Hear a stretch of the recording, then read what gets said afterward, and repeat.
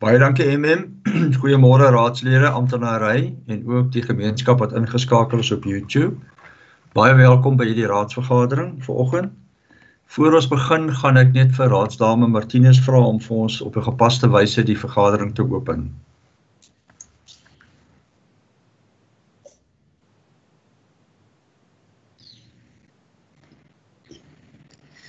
Baie dankie speaker. Goeiemôre almal ongelukkig um as wil nie Willem nie Emil is nog besig met my met my met my kamera my kamera werk nie wil nie werk nie en dis hoekom julle nou nie van my kan sien in persoon vandag in die vergadering nie. Ek het 'n foto van middag geplaas sodat mense dan ook kan weet wie is dit wat nou praat.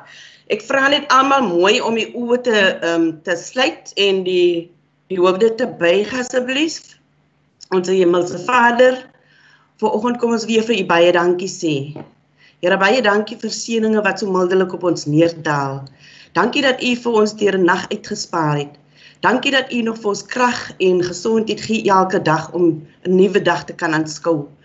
Here terwyl ons onder gebuk gaan onder hierdie pandemie van COVID-19, wil ek vir U baie dankie sê dat ons in Kapagallas raad nog nie daardeur getref is nie. Here, ons is eintlik baie bevoordeel en ehm um, wil ons vir u wil ek vir u vra om vir ons verder te behoed en te bewaar onder u hand en onder die vlerk Vader. Here ons is besig om vanmôre ehm um, sake van belang vir die gemeenskap te bespreek. Here ek kom vra vir wysie van Salomo. Here ek kom vra vir kalmte. Ek kom vra dat ons as raadslede mekaar moet respekteer. Vader laat ons meer professioneel sal optree en in belang van die gemeenskap. Here lei u vir ons deur hierdie vergadering verder. Dit bid ek nie omdat ons dit verdien nie, maar enkel uit u genade. Baie dankie Jesus. Amen. Amen. Baie dankie Raadsdame Martinus. Goed, ehm um, aansoek om verlof. Ek het nie verskoning gekry van enige raadslid nie. Al die raadslede is teenwoordig op die stadium. So ons aanvaar dat ehm um, ons het nou nie 'n presensielys nie, maar Marius dink ek kan almal van hulle sien. So Marius kan dit ook so notuleer. Dan punt nommer 3 speaker onderhoude met afgevaardigdes of ander besoeke. Ons het geen wat op die agenda aangebring is nie. En dan kom ons by punt nommer 4, die notule van die vorige vergaderings voorgelê vir bekragtiging. Dis die notule van die spesiale raadsvergadering wat gehou was op 15 Junie en 17 Junie en dis aangeheg as bylaag 1 in die bylaag. Goed raadslede is daar ehm um 'n voorstel vir die aanvaarding van die korrektheid van die notule? Kan ek 'n voorstel kry? Ehm uh, speaker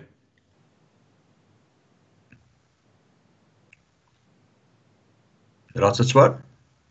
Ehm um, ek wil net voor dat die korrektheid ehm um, van die van die van die van die van die vorige notule Ehm um, ek wil net daar regstelling maak dat uh onder punt 7.5 uh voedselverligting tydens COVID-19 inperking NGOs uh in die, in die sopkombuiste. Ehm um, daar is genotuleer ehm um, onder bestuursaanbeveling dat die raad punt 2 van van die bestuurs bestuursaanbeveling sê dat die raad besluit om MOUs aan concerned mothers en BCLF uitgereik word gegeewe dat die NGOs nie geregistreer is by DSD nie en ook nie finansiële state kan voorsien nie. Die regstelling wat ek daar net wil sien is dat ehm um, dis nie albei die een is 'n NGO die ander is 'n kerkgroep ehm uh, die die die die BCLF is nie geregistreer by DSD nie, maar op daardie stadium wat ons hierdie besluit geneem het, is concerned mothers was reeds geregistreer by DSD. So hierdie punt verwys dat al twee met wie ons MOUs aangaan nie by DSD geregistreer is nie, maar concerned mothers was op daardie stadium al reeds geregistreer. Baie dankie en dan verder ek nie probleme nie dit tele nie. Dankie burgemeester. Ehm um, enige ander korreksies rondom die die uh, notule? Is 15 Junie en dan die notule van die 17de Julie? Enige Aanvaarbaar. verandering, enige aanvaarbaar. Goed. Kan ek 'n sekondant kry vir die aanvaarding van die notules?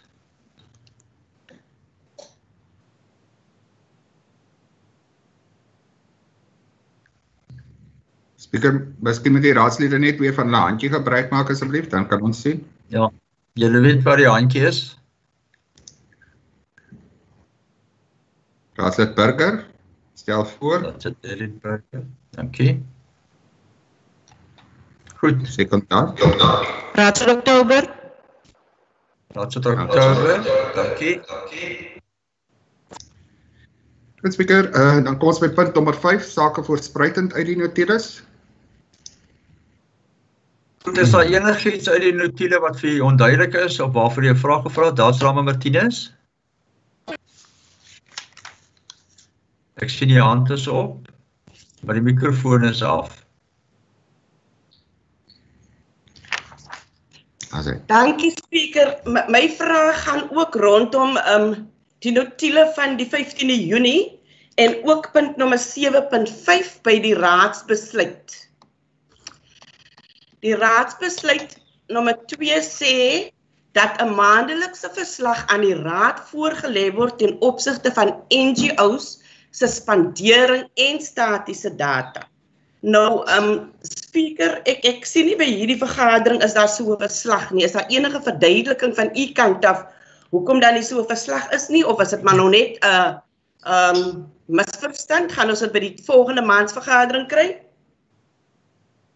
Ekskuus tog speaker, kan ek hier inkom asseblief? Sekerlik meneer Groot. Hannes. Baie dankie speaker. Um Hendrik. daar was 'n maandelikse verslag wat voorgelê was by die by die portefeulje komitee. So alle raadslede wat daar was, uh is bewus daarvan en ek het baie duidelik gevra in die portefeulje komitee dat die verslag ook na die raad toe moet gaan en vir een of ander rede het dit nou nie was dit nou nie deel van die agenda nie. En ek sal dan voorstel speaker dat u by die vergadering wat waarvan u gepraat het van middel Augustus dat daardie verslag dan nou basies daar gaan dien as dit reg is met die raad. Okay. Speaker, ons Dankie. kan dit so ons kan dit so hanteer. Hendrik, onthou net, jy kan nie 'n voorstel maak nie, jy's 'n amptenaar. Ehm um, MM nee, ek dink dit is reg. Ek sal nog 'n bietjie praat oor die vergadering van Augustus maand. Ehm um, sal by die volgende punt sal ek 'n bietjie daaroor gesels. Is dit reg so Raadsdame Martinus? Speaker, ja, dit dit, is reg so. Um ons moet net die hele besluit oor verslag gee. Die besluit sê nie net die statiese data nie. Die die verslag sê ook die finansiële verslag.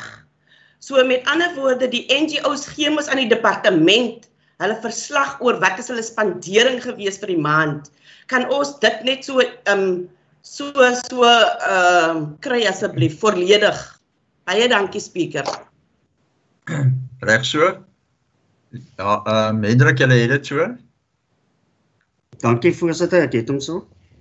Dankie. Goed, So dan kan ons aanbeweeg speaker. asseblief. Kom ons by punt nommer 6, verklaringe of en of mededelings deur jouself. 6.1 is Uh, briewe. Ja. Goed, dankie. Ek het nie uh, briewe van dank ontvang nie. Ek dink net op hierdie geleentheid wil ek net graag vir Raadsit Buyker gelukwens met sy verjaarsdag vandag. Ehm um, hy het ook gesê hy sal virtueel die koek aanstuur. So julle moet maar julle laptops dophou vir die cupcakes en die cappuccinos. Ehm um, Raadsit Buyker, hoop mag dit 'n geseënde dag en 'n jaar vir jou wees en ons hoop jou familie gaan jou heerlik bederf vandag. Goed, dan uh, wil ek net een ander puntjie ook aanraak. Jy weet, ehm um, ek het gister 'n klomp punte gekry ehm um, om wat nou vandag hier moes gedien het op hierdie raadsvergadering. En dis nie aanvaarbaar nie. Ons kan nie punte deurstuur 'n dag voordat die raadsvergadering plaasvind en dan verwag dat die amptenary en die raadslede moet hulle self op hoogte bring van die punte nie. Vir daardie rede sal daar nog 'n spesiale raadsvergadering plaasvind. En dit sal wees op die 13de Augustus. Donderdag die 13de Augustus. Die kennisgewing sal nog daaroor uitgaan. Maar daar sal ook 'n komitee vergaderings plaasvind op die 10de Augustus.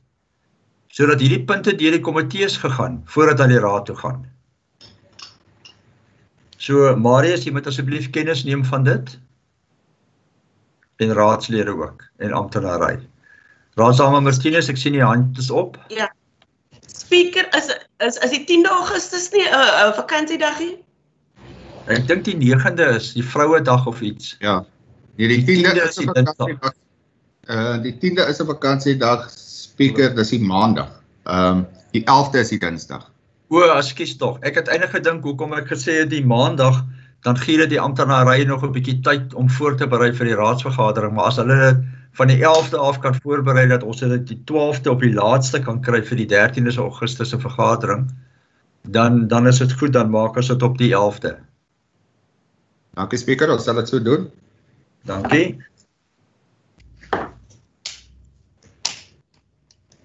Goed, dit is al wat ek het ehm um, MM. Dankie Speaker. Ehm um, daar's geen funksies vir die maand nie. Ek dink behalwe vir môre wat uh, minister Temmers hierso is. Um, om huise te oorhandig. Ehm um, daar's geen aanwysing van afgevaardigings na vergaderings toe nie.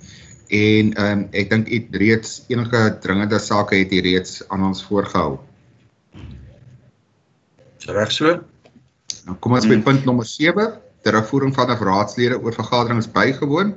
Al die vergaderings is virtueel uh deesdae spreker. Ek dink nie daar's enige terugvoering wat ons ontvang het om by die agenda in te sluit nie. En dan kom ons by punt nommer 8, verklaringe en of mededelings deur die uitvoerende burgemeester.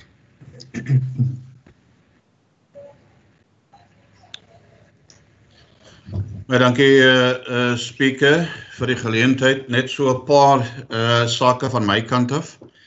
Ehm um, ek wil net, jy weet, eh uh, ook in hierdie tyd eh uh, waar ons eh uh, in ons gemeenskappe uh ook jy weet daar's baie in in ons gemeenskap en ek en ek hoor dit elke keer dat mense depressief mense is is is is werklik onder druk. Ehm um, maar ek wil by hierdie vergadering ehm um, eintlik sê baie dankie ehm um, aan ek het nou net hierso ja jammer net vir my dinge toe net voor weggeslaan hierso speaker. Ehm um,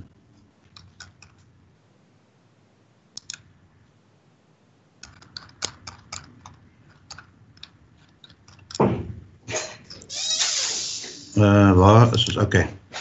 Ehm um, van my kant af baie dankie aan al die publiek en besonders uh geestelike leiers. Ehm um, wat in hierdie tyd werkte waar jy weet ons land, ons provinsie, die wêreld, maar ook Kapagallas werkte waar gebed opgedra het. Ehm um, as jy kyk na gisteraand se se getalle uh in Kapagallas dan het ons hierdie tendens wat plaasvind uh deur ons provinsie is uh die flattering um jy weet van hierdie van die van die van die piek uh in die Western in die Wes-Kaap maar ook in besonder in Kapagallas. Twee weke gelede op 13 Julie um was ons op 56 aktiewe gevalle. Verlede week in Woensdag um was ons op 34 aktiewe gevalle teenoor gister se 16. En dit is die tendens wat plaasvind uh reg oor hierdie provinsie. Uh ons is heidaglik volgens aanduidings in die piektyd van hierdie virus, maar ons piek en soos ook deur die kenners en ook deur die premier alreeds bekend gemaak is dat ons ons piek is nie soos jy weet hierdie styl piek soos leeukop langs aan Tafelberg nie, maar ons is eintlik soos Tafelberg self. Ons het 'n langer ehm um, 'n piek tydperk wat flattered is, die top en dit gee vir ons gesondheidsorg ook die nodige tyd om alles onder beheer te hou. So ek is en jy weet, ek dink ook baie keer dat ek dink baie inwoners en geestelike leiers bid uh vir ons gemeenskap in hierdie tyd en gebed uh dra krag. Ehm um, ek wil ook ehm um, namens die munisipaliteit uh al ons amptenare en die raadslede ons dank en waardering uitspreek teen al ons frontline mense binne Kapagallas. Uh dis nou die hospitaal personeel, dokters en nurse en ook ons verkeer en oral hulle wat op die pad is om ons dorpe in hierdie tyd veilig te hou.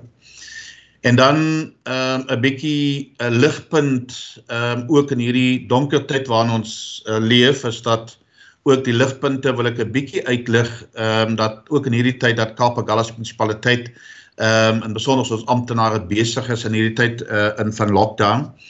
Ehm um, en spreker geneem uit die verslae vanaf die verskillende departemente tydens ons komitee vergaderings verlede week wil ek aan die munisipale bestuurder en alle direkteure en die onderskeie bestuurders baie baie dankie sê vir hierdie nuwe gees wat ek aanvoel uh van hoe dinge uh regwaar gedoen word. Daar's 'n nuwe ehm uh, ek wil beter doen gees wat werklik pos vat.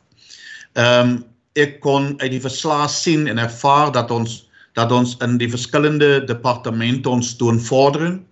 Die vordering word teweeggebring deur elke werknemer wat vir hierdie munisipaliteit werk met die nodige motivering vanuit elke bestuurder se kantoor. Ehm um, daar kan nog ehm um, daar is ruim uh, plek vir verbetering in in van die afdelings.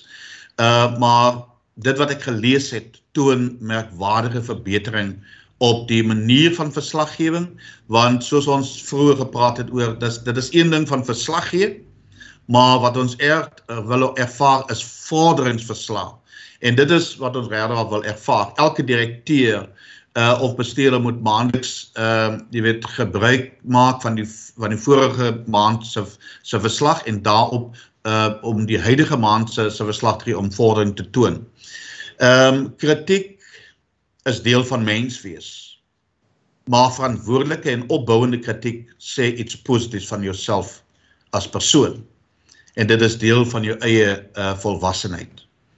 Ehm um, baie dankie aan die bestuurspan ehm um, vir die ekstra eksterne fondse uh wat in hierdie afsienbare tydperk en dit is deur moeite ehm um, gedryf uit die uit die munisipale kantoor uh munisipale uh, uh bestuurderskantore deur die direkteure af na die na die na die bestuurders toe om daai die planne wat ons oor die jare nou gepraat het om die ekstra fondse te bekom. En daar was vir ons ingelig die die potensiale die 20 miljoen rand ekstra wat ons moontlik sal kry of wat ons gaan kry vir die Napier waterwerke. Ons weet soos jy inkom uh jy weet die reuk wat ons kry op daai uh stelsel wat ons daar kry en dit mag nou dieselfde in dieselfde uh kwaliteit geplaas word as bedaagstop of Struisbaai.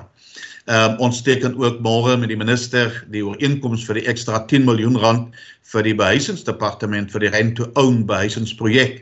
En uh Aziz het ook nou al bekend gemaak wat hulle in hulle departement gekry het. En daar is soveel wat ons werkte kan opnoem. En dit is die positiewe ding wat plaasvind binne Kaapegalas en dit is nie iets wat ons tussen die mure van hierdie munisipale kantore wil hou nie maar dit is iets positiefs vir Kaapegalas munisipaliteit. So baie dankie aan al die direkteure en en en die munisipale bestuurder en en die bestuurders wat werklik wat daai ekstra myl loop uh om om besigheidsplanne te skrywe en waarop ons regwaar positiewe terugvoer kry. Ehm um, ek kan ook ehm um, aan ons inwoners sê dat Kaapagallas munisipaliteit Ehm uh, jy weet hierdie jaar uh aan die einde van die boekjaar kan ons weet wat trots uh terugkyk en sê ons het ons mik toekenning vanaf die regering het ons produktief en en en en vol uh gebruik vir die jaar wat verby was en wat baie min munisipaliteite werkte waar jy weet 100% kan regkry. Ehm um, ek het die uitdaging maandag met van ons lede bespreek van raadslede bespreek dat ons as munisipaliteit werktewaar vinnigere oplossing kry deur ons smart city konsep en dit is met die ontwerp van 'n munisipale app uh, om beter met ons mense te kan kommunikeer veral in hierdie tyd van inperking. En uh dit was sekerlik 'n halfuur nadat ek uh toe ek op pad is huis toe, toe die trappe afstap om by die buitekant se deur uit te gaan, toe loop ek in in meneer Willem van Sail vas ehm um, en van die IT departement en ek toets hom sommer terwyl die water lekker lou is en hy sê nee meneer ons is al reeds ver gevorderd uh, met hierdie konsep. So ek dink die gemeenskap kan binnekort verwag dat ons uh, met u sal skakel en dat u met ons kan skakel deur 'n plaaslike munisipale app en dit maak vir my baie trots om deel, deel te wees van hierdie Kaap Agulhas munisipaliteit en die span uh, in die administrasie. Baie dankie aan almal wat betrokke is om die droom uh van die opgradering van die ou meuleweg 'n werklikheid te maak. En dit is oor die algemeen, jy weet, ons het 2 jaar waar ons gepraat het, kom ons bring 'n bietjie uh menswaardigheid uh in ons in ons in ons onderdorp ook en die pragtige handewerk deur mosaïek by die voetbrug wat nou onlangs voltooi is.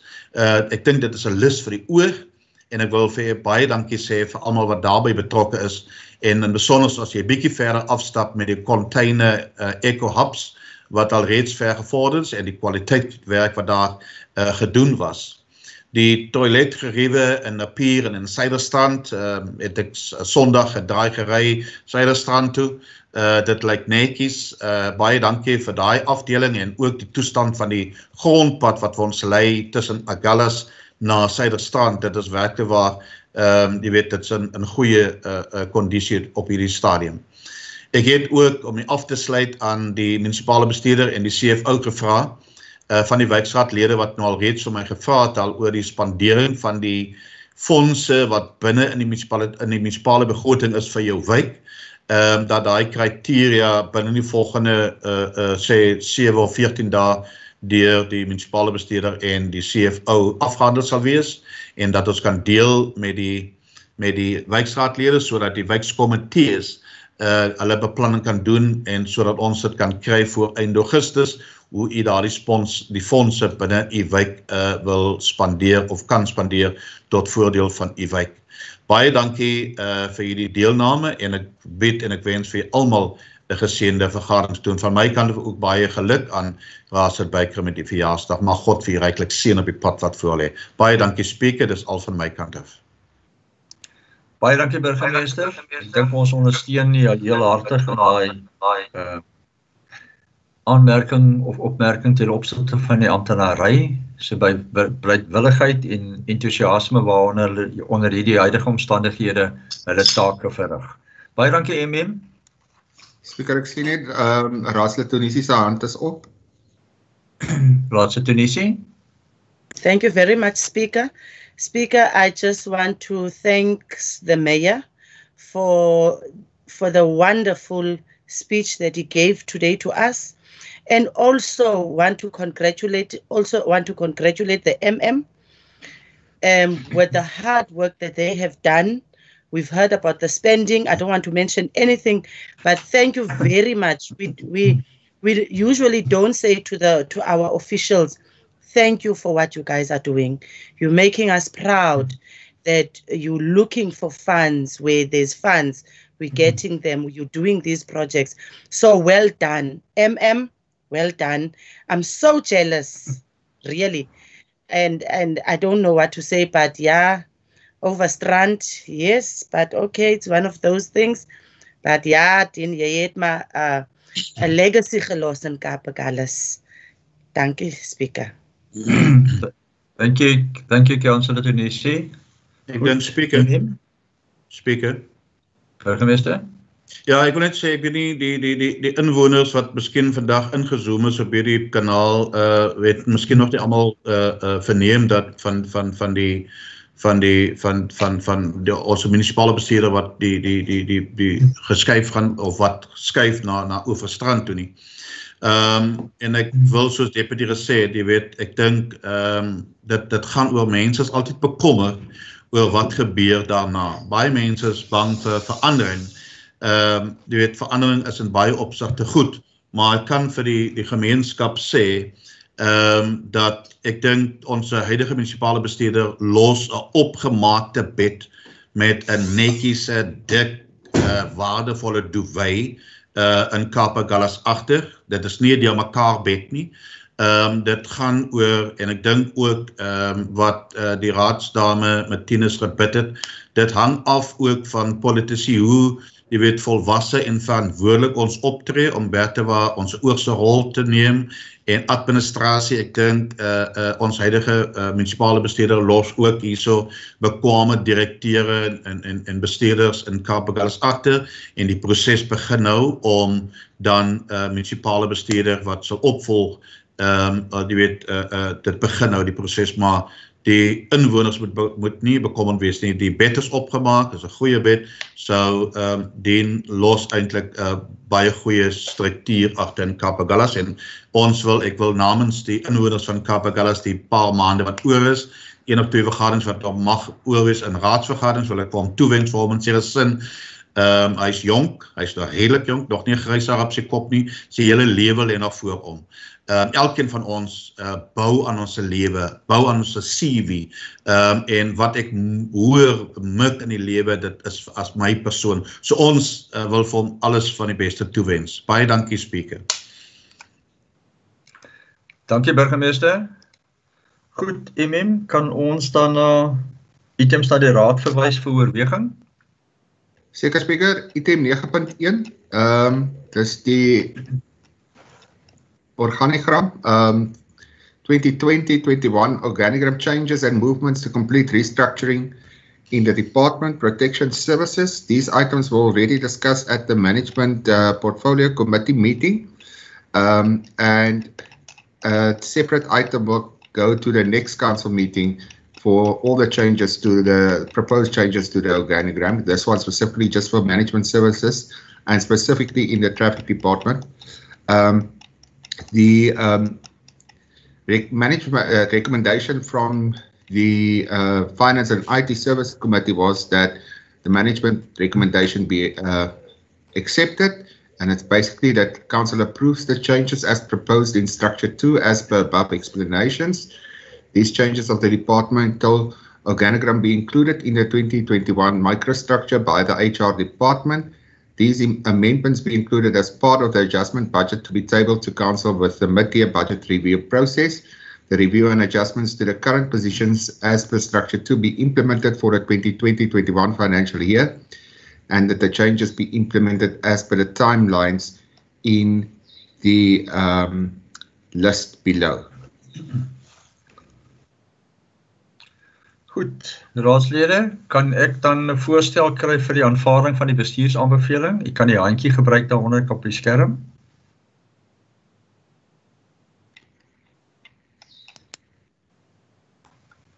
Chairperson. Derek Burger. Wait, wait, Chair. Uh, speaker, my hand is up. Ja. Okay, I just want a, I want an, a, a, I don't have, I can, I'm, I'm going to second Councillor Berger with this one. I just want to um, just find out from the MM, you say the rest of the, of the, um, of the organogram will be phased in in every council meeting, if I understand you correctly. Uh, no, Chair, I said the rest uh, of the organogram changes will be mm-hmm. tabled at the next council meeting on the 13th of August. Yeah. yeah. No problem. A second the voorstel chair. Baie dankie. Voorsitter. Burgemeester. Moet net vra dat wanneer ons uh changes maak aan organogramme, ehm um, en in besonder sou dit is die een deel van die organogram, maar dat alvorens ons na die raadsvergadering toe gaan, ehm um, dat ek ek neem aan hierdie organogram was by die LLF gewerkswinkel maar dat die die die die die grootte die grootte organogram voordat dat dat na die raadsvergadering toe gaan dat dit asseblief gewerkswinkel word met alle raadslede dat ons insette kry dat die administrasie vir elke raadsit verduidelik in diepte uh die aanpassings of die nuwe aan uh, die weet aanpassings by enige organ deel van die organogram alvorens ons dit by 'n raadsvergadering uh uh tot tafel lê asseblief. Regse burgemeester, ek dink dit is hoekom ek gevra het dat daar komitee vergaderings plaasvind op die ehm um, 11de Augustus voor die raadsvergadering waar dit dan na die komitee vergadering toe kan gaan. Reg so? Uh, speaker, speaker. But even though this one was not then discussed at that particular management uh, um, services portfolio committee meeting, if that's the norm that we are going to follow, that each and every uh, portfolio committee will discuss its organogram and changes, then this one was never brought to the portfolio committee meeting. Then how do we approve the other the the rest of the others that will go to the portfolio, but this one was not did not go to the portfolio committee meeting. Chair, can I Um, it is just my suggestion that this, the next ones will go to the portfolio committee meeting so that everybody can have a look at it before it goes to the council. MM? Thank you, Chair. Maybe just in reply to what uh, Councillor Denisi said, um, the full organogram was discussed at the Finance and IT Committee. And after that, it was discussed for input at the LLF.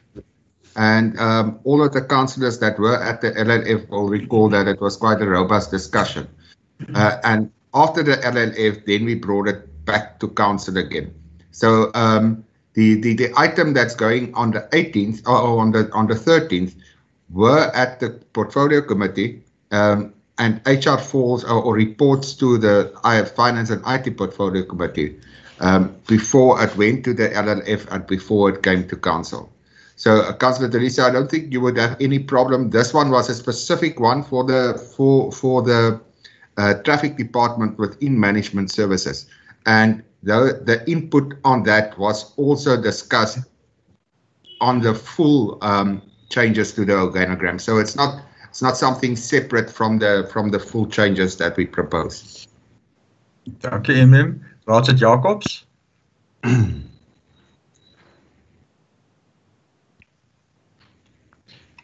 Um, Raadsit Jacobs? was dit Jacobs self uh, die mikrofoon is af? Die mikrofoon is af. As ek nou unmute. Daar's hy. Yes. Okay. Speaker, ek wil graag my teenstem laat notuleer op hierdie spesifieke punt. Ehm um, daar word spesifieke verwysing gemaak na die punt dat dit gaan na die mid-year budget review toe in Januarie 2021. Soos wat die jaar vir my lyk en soos wat ons finansies heidaglik staan, kan ek nie sien dat ons enige addisionele finansies het hierdie jaar om enige addisionele aanstellings te maak nie. So in my opinie kan ons nie dit bekostig hierdie jaar nie en behoort oor te staan na volgende jaar waar ons finansiële uitkyk moontlik beter is. En in die tussentyd kan ons kyk na die algemene bestuur, produktiwiteit en verantwoordelikheid van daai departement voordat so iets gebeur word. Raadsit uh, burgemeester, jou hand is op. Ehm spreker, ek praat onder korreksie. Ehm ek was ingesit in die Finans en IT uh komitee vergaderings.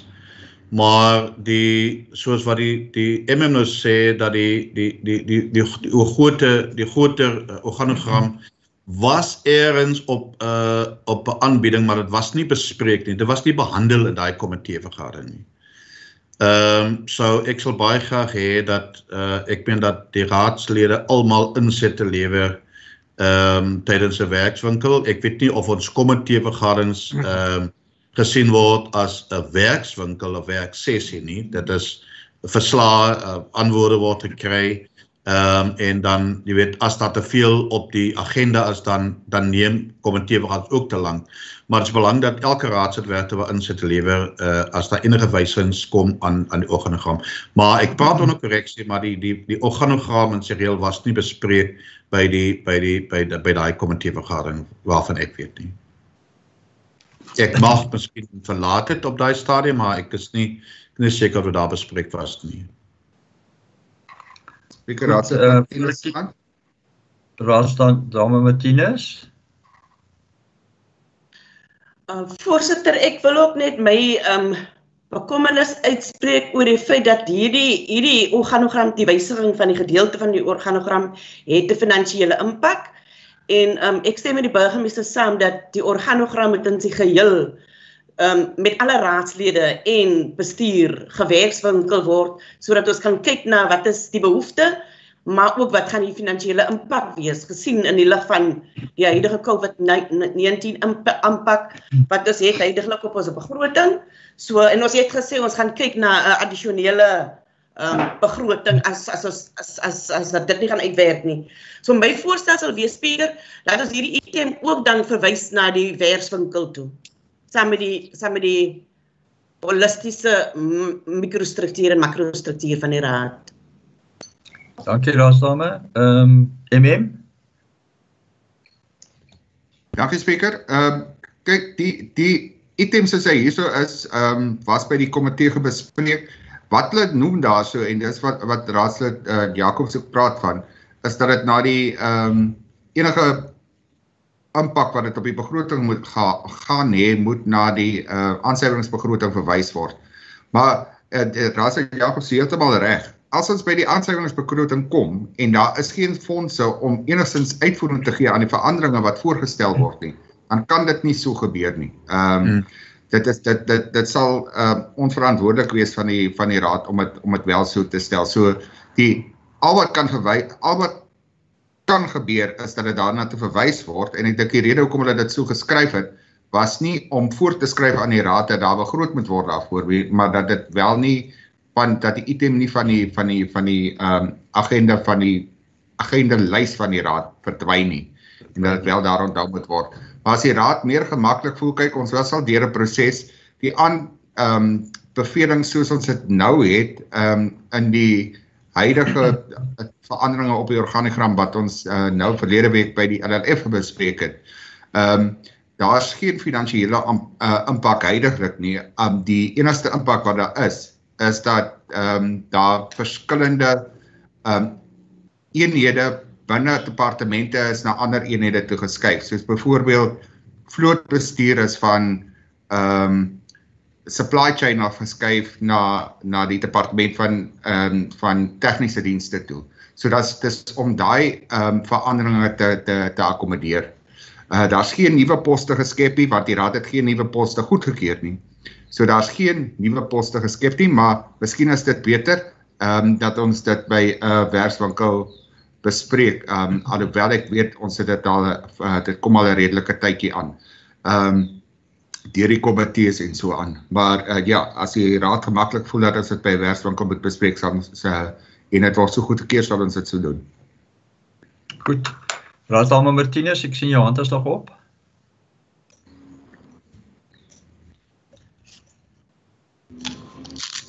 Okay. O, daar sien nou goed. Daar sien nou. Goed. Ehm um, so ons het 'n voorstel dat ons dit werkswinkel saam met die geheel al die hele organigram. Is dit aanvaarbaar? Is dit reg met die raadslede? Goed. MM sal u vir ons dan 'n datum vasstel waar tydens ons hierdie werkswinkel kan hou. Uh geen probleem spreker, ons sal dit so doen. Bou jy dit ja, ons sal dit moet doen voor voor voor die raadsvergadering van die 13de. Ja. Ehm ja. um, as die item daar moet dien. So ek sal 'n datum ehm uh, voorstelle vir vir vir die deurstuur en dan kan ons dit daarvan af verder vat. Baie dankie. Goed, baie dankie. Dankie spreker. Dan kom ons by punt 9.2 is die vervreemding of koop van 'n gedeelte 31.84 ehm um, vierkante meter van erf 3502 Struisbaai en dis basies vir die raad om oorweging te skenk daaraan. Ehm um, te te en dis 'n gedeelte van 'n oop ruimte. Daar's 'n skriftelike versoek ontvang van meneer Andre Venter. Ehm um, die item het ook by die ehm um, finans en ehm um, IT dienste komitee gedien. Die bestuursaanbeveling was dat die raad dit moet oorweeg. Uh die aanbeveling van die finans en IT dienste komitee was dat die bestuursaanbeveling nie aanvaar word nie en dat die aangeleentheid oorstaan totdat die verslag van die bouafdeling ontvang is soos versoek deur die munisipale bestuurder. Ehm um, daar was toe 'n raadsbesluit op die 25ste Februarie 2020 uh dat die aanbeveling van die beste uh, finansies en IT dienste komitee aanvaar word. Die kommentaar van 'n boubeheer was toe dat daar inspeksie uitgevoer was en ehm um, soos 'n meldsaal die gedeelte nie 'n probleem skep uit uh, om te verkoop nie dat sal weg toegang tot sy buitegebou vergemaklik. Uh, hy moet daarop gewys word dat geen toegang vanaf die openbare ruimte na sy erf uit die uit die hoek toegelaat sal word nie en dat toegang slegs op op uh, op sy erf sal geskied. Uh die gedeelte sal dit wel gemaklik om te draai en die aansoek word ondersteun. Uh die bestuursaanbeveling is toe dat 'n uh, oorskrydingsooreenkoms met die eienaar van erf 195 Struisbaai aangegaan word vir 'n termyn van 9 jaar en 11 maande teen R4015 per jaar.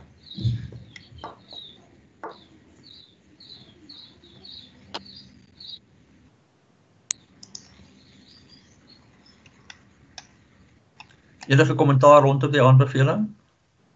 Speaker. Raad- Raad saam met Tunisie. Ag raad die Tunisie. Nou, Jou hand was op, okay. Speaker. Burgemeester? Burgemeester? Ja. Ehm um, ek wil eintlik net 'n bietjie duidelikheid kry oor dit is kyk dit is nie 'n uh, die die stukkie grond is nie 'n kampie 'n land waar die ou jy weet gaan gaan boer en en tuin maak nie. Dit gaan 'n 'n 'n iets wees wat eintlik aan sy erf en hy gaan dit hy gaan dit gebruik tot in alle ewigheid. Ehm um, ek sal dat hierdie want ek sien hierdie hierdie hierdie aansoek is nou al jy weet dit was in 20 Oktober 2019 was hierdie aansoek al na ons gegee waar ek en ek praat onder korreksie dat die die die die aansoeker uh, hy twee opsies hy hy wil dit terugkoop of of of huur. So my voorstel is kom ons kry uh, dan die waarde van die stukkie grond en verkoop dit aan die persoon. Dit is dit is en konsolideer dit met sy eiendom. Ehm um, hy wil toegang hê tot sy garage. Dit gaan nie vir 11 maande, 9 jaar en 11 maande wees. Dan moet ons weer die proses begin. Ehm um, die raad verander, amptenare verander. Hy mag hy huis verkoop. Ehm um, so is dit nie maklik dat die ding net afgehandel kan word. Kry die waarde van van 'n stukkie grond en en en verkoop dit aan hom nie. Enige kommentaar rondom dit?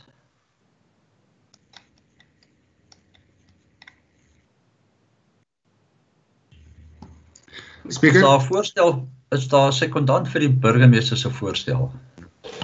speaker voor voor ek voor ek dit hanteer, ehm um, as jy net kyk na die aansoek aan die bylaas, dan vra hy vir die verkoop of vir die verhuuring daarvan.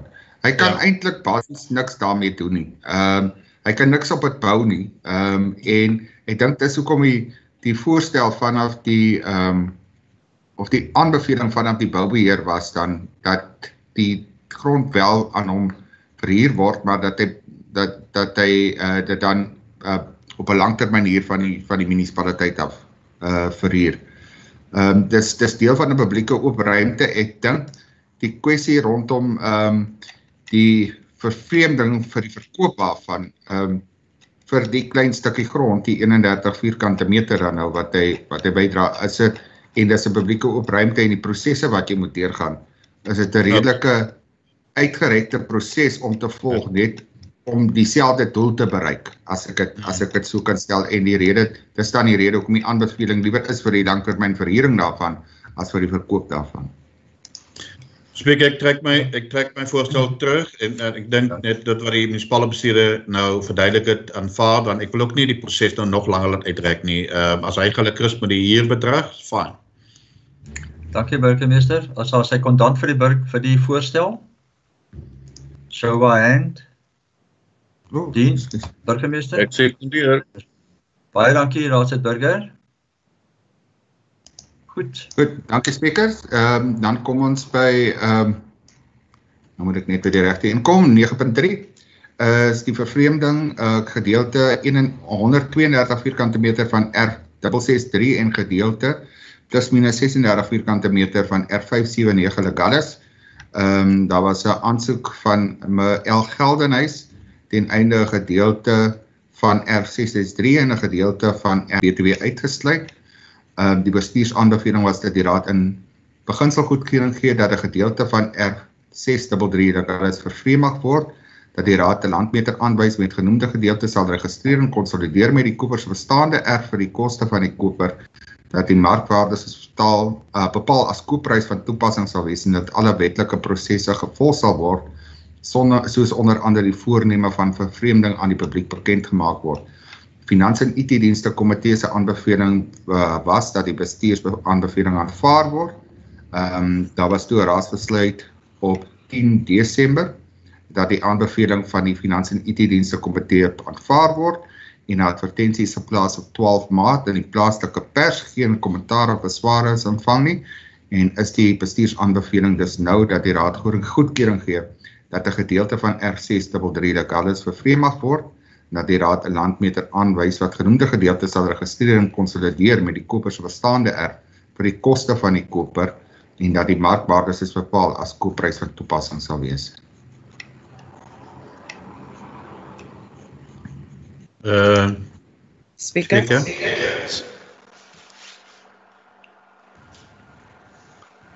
Speaker. Speaker? Speaker. No. Speaker kan nie hoor nie. Raadse Tunisia raak is op. Ja, Raadse Ja. Tunisia. Speaker. Dankie. Ek wil gou net uitvind by die amptenare is daar tik fout in die in die notules. Nee, Ons en- praat van op op die agenda. Ons praat van R663, maar in die aanbevelings praat ons van 633. Daar moet iewers 'n tikfout wees. Kan ons moet net daai regmaak as dit 'n tikfout is of ek lees nie ek lees verkeerd. Dankie. Dankie. Raads Raadse Jantjies. Dankie Speaker. Speaker, ek wil net weet is ons binne wetgewing as ons dit toeken aan die persoon moet ons hier as hy nodig vir op tender gaan nie? Dis 'n klein erfie. Ek weet dis 'n klein erf. Burgemeester. Ons gaan nou Ehm, terugkom Raadse Jantjies. Burgemeester.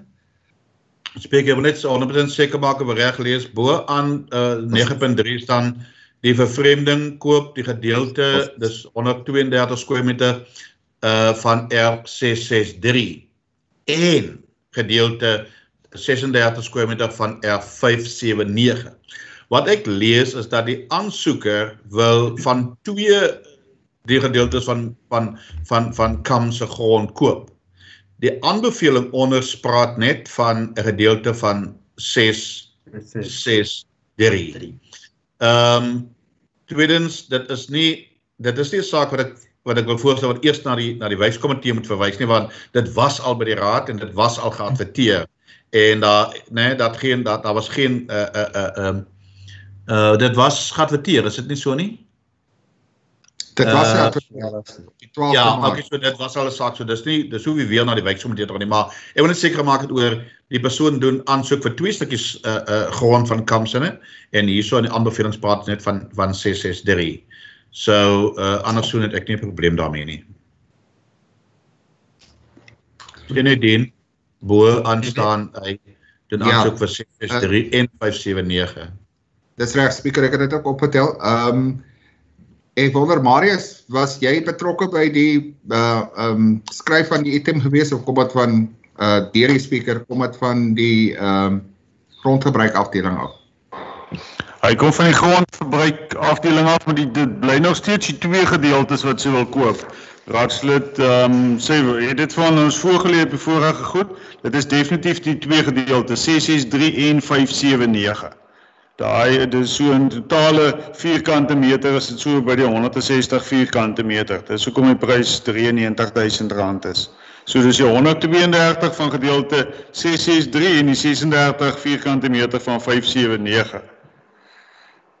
We staan dus spreken dat die maat al twee erwe uh al twee stukkies. Mm, Dis reg ja, die gesamentlike waarde wat bepaal is deur die waardeerder was 93150. Okay. Ja. Speaker? MM. Ehm um, dankie speaker. Ek dink ons moet om die verwarring uit te skakel en die item reg te maak. Laat hulle dit regmaak en dat dit hanteer word by die vergadering van die 13de asseblief. Ek dink dit is onaanvaarbaar dat ons sulke items hierop het. Ehm um, as dit as dit as dit die geval speaker. Ja. 100% kan ons dan ook Speaker. net raadseer raadseer Jantjie se vraag wat hy gehad het of dit Ja. reg is volgens die MFMA of ons dit dit ook sal kan hanteer dan. Speaker, ek dink dit is reeds hanteer met die vorige besluit. Kyk, die item was hulle in Februarie maand daar en raad het besluit dat dit vir dat dit beveel moet word um, aan die persoon wat die aansoek gedoen het. So daai besluit is reeds daar geneem. Ehm um, en dis toegeadverteer en weer teruggekom na die raad. toe. So die besluit om dat dit om te vervreem aan die aansoeker reeds geneem in Februarie maand. Goed, ons verwys dan hierdie punt na die volgende raadsvergadering toe. Dankie speaker Raad saam- 9.4. Ekskuus tog raadsdame Martinez. Speaker ja en, en ook het ek gesoek in my stukke om te kyk waar is die terreinplan. Kan ons net die terreinplan ook kry sodat die raad hom kan vergewis van presies um, presies waar praat ons van die twee stukke grond of wat die impak maak op op grond wat die raad wil gebruik miskien nie. Reg so raadsdame. So terreinplan dit moet vergesel asseblief. Dankie. Reg so. Daar staan met raadslid Tunisie. En ook ons moet nou net kyk dat ons die regte soos die MM gesê het, ons moet net die regte uh, erfnommers het. Ehm um, Ja. dis is dis mos nou 663, nie 633 nie. Ons moet ook net daai regstellings ook regmaak. Goed, baie dankie. Goed, MM. Okay, spreker 9.4. Ehm um, vervreemding of die koop van 'n oop direk oop ruimte direk langs R528 Waarnhuiskrans. Uh hierdie item was al by die raad gewees. Ehm um, verskeie kere. Uh die raad het 'n besluit geneem dat uh aangesien die vader van die koper die aansoek gedoen het, het die raad gesê uh dat die besluit nie aanvaar word nie en dat die die aanliggende grondeienaar moet aansoek doen. Ons het toe 'n uh, skrywe uh gekry van vanaf uh, Misselieu en ehm um, die bestuursaanbeveling was toe gewees dat dit aan Misselieu Olivia Nadia Silje verkoop moet word, dat 'n landmeter aangestel word en so en dat dit dan nou ehm um, die vervreemding aan die publiek gekend bekend gemaak moet word.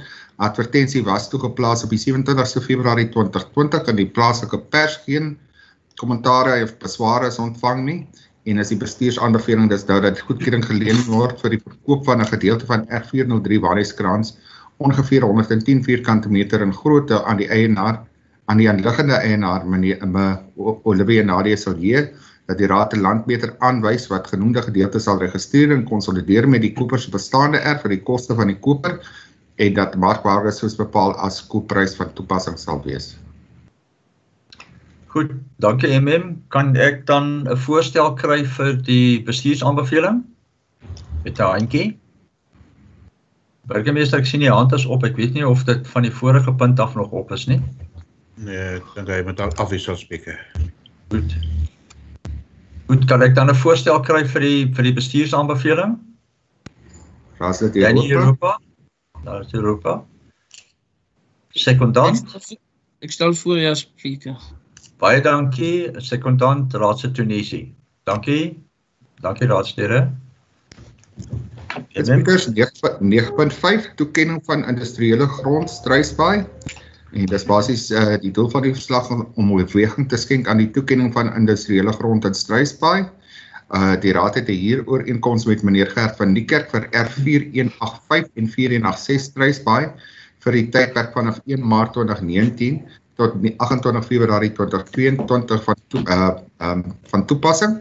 Ehm um, ons het egter die twee erwe verkoop uh, met die veiling wat op die 25ste Februarie 2020 gehou is. Ehm um, en die raad het die volgende besluit geneem.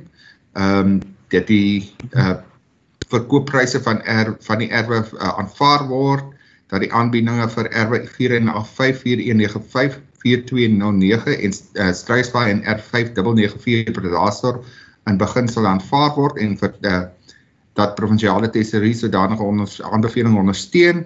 Daar word goedkeuring gegee vir die kontrakwysigings ten opsigte van die verhuuring van R4185 en 486 Struisbaai en die raad onderneem om dieselfde grootte grond in die onmiddellike omgewing beskikbaar te stel met dieselfde verhuuringsvoorwaardes totdat genoemde ooreenkoms met meneer van Niekerk in 2022 verval. Ehm um, daar is toe geskikte terreine uitgewys en die volgende opsies was daar gestel. Opsie 1 is die mees geskikte opsie, maar dit is 'n uh, die nog nie in erwe verdeel nie en sal daar moontlik omgewingsimpakstudie gedoen moet word. Opsie 2 is 'n baie geskikte opsie veral indien die huurder belangstel om die eiendom te koop na verstryking van die ooreenkoms en dat die erf egter met sagte grond bedek wat die vervoer van materiaal sal bemoeilik. En opsie 3 is ook geskik maar nog nie skoon gemaak nie en is teen 'n klipblank geleë. Uh die bestuursaanbeveling was dat opsie 1 ondersteun word en dat dit na die raad verwys word vir oorweging en die aanbeveling van die Finansie en IT dienste komitee was dat die bestuursaanbeveling aanvaar word. Dankie, burgemeester. Uh spreker as jy as iets verkeerd by ons dan raadplan gaan ons vra. Hallo, daar's Pieter. Kan jy my hoor? Spreker kan jy Ja, hear nie? reg. Ons hoor jy. Nee, ek wil net vra, ehm um, ek weet dit's nou 'n uh, uh, wijk 5 saak nommer 1 daar is daar's opsies, daar word gepraat van die opsie 1 om om dat opsie 1 ondersteun word. Bo praat van opsies, maar die opsies is nie daar nie. Ek weet nie watter opsies dit is nie. Ehm uh, daar staan opsie 1 is die mees geskikte, maar is nog nie 'n erfdeel. So daar's nie 'n opsie nie. Opsie 2 sê 'n baie geskikte opsie veral indien die die die huurder belangstel om die eiendom te koop. Ehm um, die amptenary of wie ook al die ter, terrein gaan besoek het, ek dink daar was eers gepraat van daar was terreinbesoek. Wil ek vra in die toekoms asseblief daar is 'n wijkraad lid in daardie wijk en 'n wijkkomitee dat dit beter sou wees dat die wijkraad dit of dan dit sou ek reël dat van die wijkkomitee lede sommer saam is dat ons hierdie sake gaan besoek. Ek wil net vra voordat ons die besluit neem, ek wil net weet wat is die opsies? Daar's nie opsies vir ons uitgegee nie. Ehm um, uh, anders sou nie dan dan ek dit wys na die wijkkomitee toe. Uh en dat ons terug by die volgende spesiale vergadering. Ja, ons het dan nie eintjie nie. Uh meneer die spreker. Mag ek miskien jou vra? Reg Marius. Uh ons was al vir kere op die terrein. Daai opsie 1 waarna hy verwys het is hier nou die beeld van die Struisbaai industriële area het in die ry op na die industriële area toe op die regterkant was die opsie 1. Um Raadslid Burger was ook saam met ons daar En dit was die gedeelte waar die omgewingsimpakstudie gedoen sou moes geword het volgens die vorige stadsbeplanning meneer Hayward. So die opsie 2 was reg langs die erwe wat meneer van Niekerk op die stadium het. Dit is onder in 'n gat geleë. So ons het dit ook gaan ondersoek. So dit was die beste een, maar dit was te sagte grond. Hy kon nie met sy vragmotors en goed daar ry nie. Jy moet onthou hierdie punt kom nou op van Februarie af, so daai inspeksies was Februarie gedoen. En toe was ons nou onlangs weer by hom, um, Raadslid Burger was saam met Abraham Tronele op die terrein en daar is twee nuwe erwe wat nou onlangs in erwe uitgesny is vir meneer van die kerk aangebied waarmee hy tevrede is. Dit is soos die, die industriële gebied inry op die linkerkant Ehm um, dis twee splinte nuwe erwe wat nou uitgesny is. Hulle is besig om die pad nou aan te lê soontoe.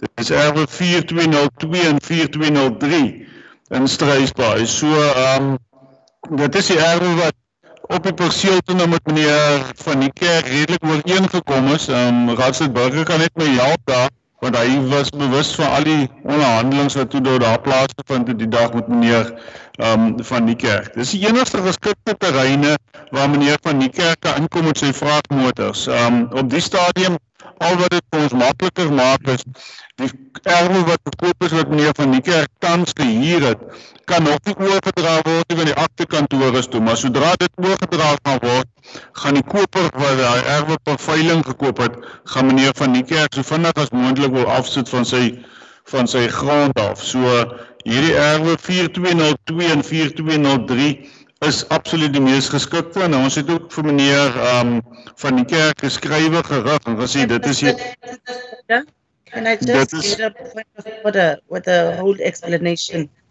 Um, the whole explanation was supposed to have been done in the fine in the committee. Yeah.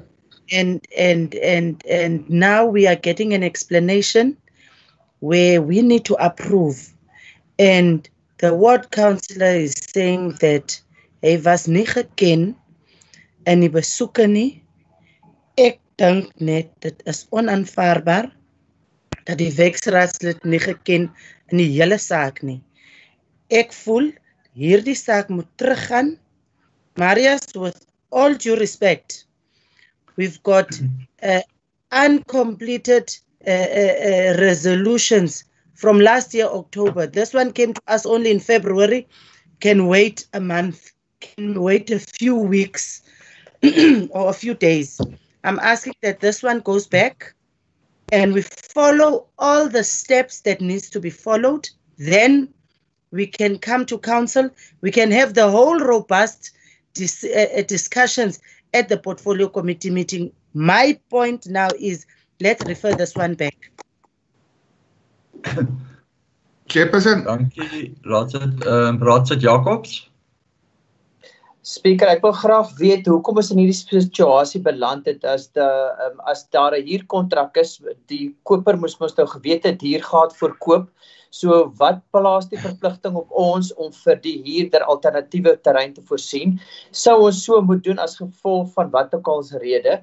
Ehm um, so ek graag vir hê dit moet die goedkoopste moontlike manier wees en 'n impakstudie in my opinie is nie 'n goedkoop oefening nie. So ja, dan wanneer die ding terugkom na die raad toe dat ons die goedkoopste opsie het indien dit ons verpligting is. Dankie. Terasa Martinez. Speaker, van my kant af ja baie dankie. Ehm um, toe ek hierdie punt gelees het, het ek vir myself gesê ek verstaan nie wat gaan hier aan nie. Van die burgemeester, burgemeester het ook uitgewys van opsies en opsies en opsies, maar ons sien nie die opsies binne die stukke nie. En Marius het nou verduidelik van as jy hierna toe gaan en so intoe gaan, maar dan weer eens daar's 'n terreinplan vir die raad sodat ons kan sien waarvan praat ons nie. Ek stem saam met die onderburgemeester dat ons hierdie punt terugverwys. Laat die burgemeester met sy wetskomitee dit ook bespreek saam met 'n terreinplan en ehm um, laat ons 'n volledige item vir die raad kry asseblief. Dankie speaker. Speaker. So. MM. Ehm um, ja, dankie speaker. Speaker, hierdie items was by die portfolio komitees gebespreek. Ehm um, en ek dink ons moet dalk die portfolio uh komitee voorsitter vra vir sy insette hierin. Want ek is seker die vraag was 'n vraag gewees by die portfolio komitees. Hierdie is 'n item om raadslid Jakob se se vraag te beantwoord. Toe ons die erwe verkoop het, voordat ons die verkoop gedoen het, het ons met die huurder in gesprek getree om seker te maak dat dat dat ehm um, hy bewus is daarvan dat ons die erwe verkoop, maar indien die erwe verkoop sal word, sal vir, sal ons vir hom alternatiewe erwe beskikbaar stel vir verhuuring tot die huurtermyn verby is. En dis die rede vir uh, en dit is ook so 'n uh, genotuleer en aanvaar uh, of um, aanvaar deur die raad toe toe die besluit geneem is om die erwe te verkoop. Ehm um, dit was 'n raadsbesluit gewees dat daar alternatiewe ehm um, erwe aan hom beskikbaar gestel moet word om om dan nou ons deel van hier ooreenkomste kan byhou. Ek stem saam dat daar dalk ehm um, en hulle noem in die item dat die ehm um, dat daar 'n aangehegte terreinplan is wat dan nou nie in hierdie geval daar is nie. Maar miskien moet ons net die portfolio voorsitter vra vir sy insette in die verband want ek is seker al hierdie vrae was by die portfolio komitee geneem en het die portfolio komitee dan so 'n aanbeveling aan die raad gemaak. As ons dit almekaar terugverwys, dan dink ek die gevoel wat ek kry is dat die raad dan nou nie enige ehm um, vertroue in die portfolio komitees het om items te bespreek en aanbevelings dan die raad toe te maak en die aanbeveling dan so te aanvaar of nie te aanvaar nie Ehm um, dan is my vraag, hoekom het ons portfolio komitees? Want sover is meeste van die items verwys ons nou terug. Of terug na 'n raadsvergadering toe of terug na 'n uh, portfolio komitee toe. En dit voel vir my ons is besig om mekaar se tyd te mors hier so spesifiek. Hmm. Hy doen. Speaker. Hy Speaker. Ehm um, kan ek net kan ek net uh soos dat die burgemeester gevra het die voorsitter van die portfolio komitee se kommentaar Uh speaker, dankie. As dit finanskomitees waarna hy verwys, dan uh kan ek bevestig dis inderdaad bespreek. Die enigste misdaad hier nou is dat daar nie 'n terreinplan aangeheg is nie, want die uh Abraham Tron was met uh met Gert van die kerk op daai twee persele. Hy moes dit net vir ons aangeheg het aan hierdie aan hierdie versoek. Opsie 1 is glad nie 'n opsie nie. Dit gaan jare vat. Ehm um, om 'n om 'n omgewingsimpakstudie daar te doen. So dit gaan nie gebeur nie. Maar die twee erwe waar meneer van die kerk belangstel is twee erwe wat klaar uitgemeet is. Die pad is besig om gebou te word. Dis 'n kwessie van hy skuif van die een na die ander en dit gee vir die eienaar Dr. Prover kans om op die twee erwe wat Gert nou gebruik te kan bou ter wille van werkskepping en alles wat daarmee volg. Die enigste is ons kan nie vir vir u wys waar lê die twee erwe letterlik langs die twee erwe wat hy nou hier nuwe uitbreiding. Baie maklik vir hom om daar te parkeer, te ry. Uh ook nie sag is nie, dis uitgesoek deur homself. Uh maar dis nie aangeheg aan hierdie stukke nie, so ek aanvaar dat mense nie weet waarvan ons praat nie. Dankie. Speaker. Dankie Raadsit Burger. Raadsdame Martinez. Ek sien jou hand is op. Speaker.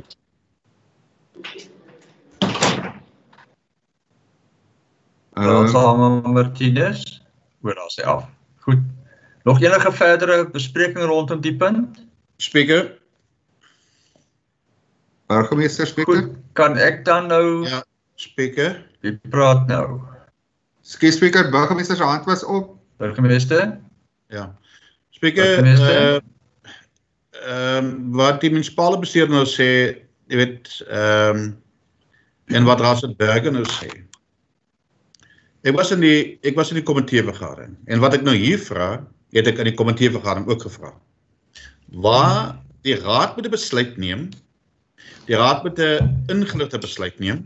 Die opsies is nie uitge, uiteengesit nie. Nog minder die die die plan.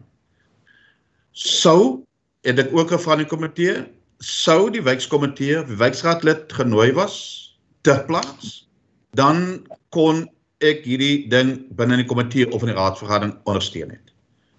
As wijksraad kan ek in die raadsvergadering kom sit en 'n besluit neem oor goed wat ek nie van kennis dra nie. Dit is nie 'n kwessie van mekaar se tydmors nie. Die raad moet 'n ingeligte besluit neem en alle inligting moet tot die raad se beskikking wees wanneer ons 'n besluit neem. Hierdie inligting is nie die opsies is nie daar nie. Ehm um, daar was nou verduidelik van die opsies. Ehm um, ek dink dit is dit duidelik. Ons wil baie graag hê die man moet bou, maar die raad moet besluit neem. Daar's daar's 'n tweede persoon betrokke hierby en die raad moet die besluit neem. Al die inligting is nie tot die raad se beskikking nie. En die in die komitee vergaderings het ek gevra sou dit gereageer wees op dit wat ek gevra het, sou dit dan vandag verander gewees het en die opsies sou dan ten minste hierso by ingesit gewees. Die verskillende opsies. Dankie burgemeester. As ek as ek dit reg lees, vra u dat hierdie punt terugverwys moet word na die komitee toe en dat die wijkkomitee geleentheid hê saam met die wijkraadslid om die perseel te gaan besoek. Voordat dit na die Ja, komitee dit is vergadering gaan. my my vraag is dat dit wat hier voor die raad is, dat in skrif moet dit al al kon die raad nie daar wees nie. Moet die raad op skrif kan lees wat eintlik voorgestel word in opsies.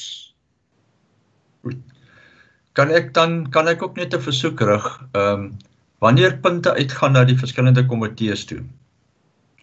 En die raadslede ontvang die agenda stukke voor die komitee vergaderings. As hulle deur die stukke gaan en daar's iets wat kort kom daarin, dat hulle dan die amptenary kontak om daai inligting te kry voordat die komitee vergadering plaasvind. Is dit 'n onredelike versoek? Voorsitter, Burgemeester? ons moet daarby begin.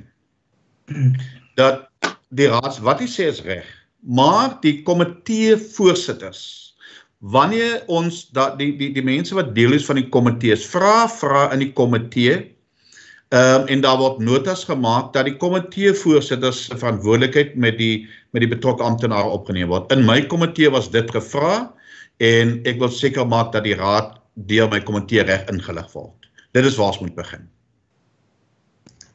Ons moet nie die bal nou te veel rondgooi nie. Dan gaan ons seer kry. Reg sê burgemeester. Uh, meneer O'Neil? Goed spreker, dan het ek dit so dat ons dit terugverwys na die ehm um, uh komitee, na die finansies en IT dienste komitee vir heroorweging saam met 'n terreinplan.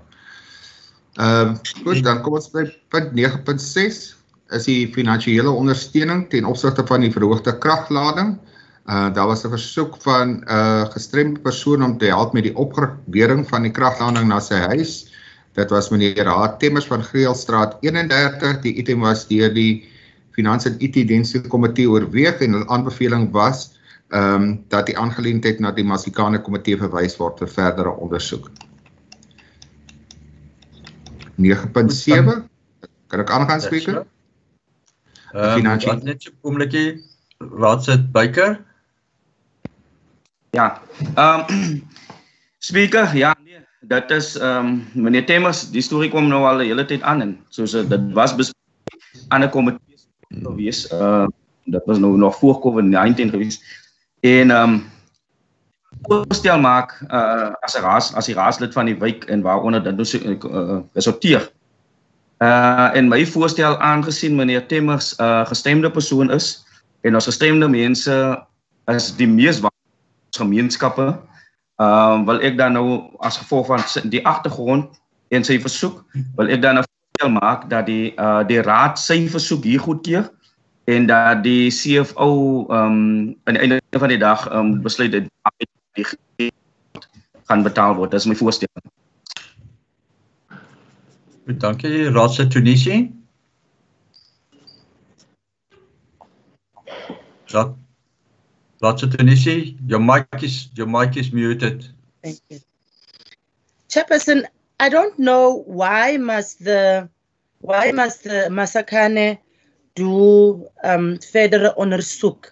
One, in our policy, we say if you were forced by the municipality to go from whatever amps to a 20 amp, then we are obliged to give you back, to give you, to put you on a 30 amp, especially if you are from the vulnerable groups. My recommendations will then be uh, that Mr. Temers, because there's no need, what are you going to investigate? There's nothing to investigate here because we know that he is disabled. We know that he um he is uh, uh, uh, he is Masakane. So why why must we now? I don't know. I don't understand the logics. So I, I Uh, want speak- to concur with councillor uh, with the councillor to say that let's approve this one and let's do what we say in our policies that we will do because the council was just supposed to note this one as far as I know. Uh, speaker, ek het 'n voorstel.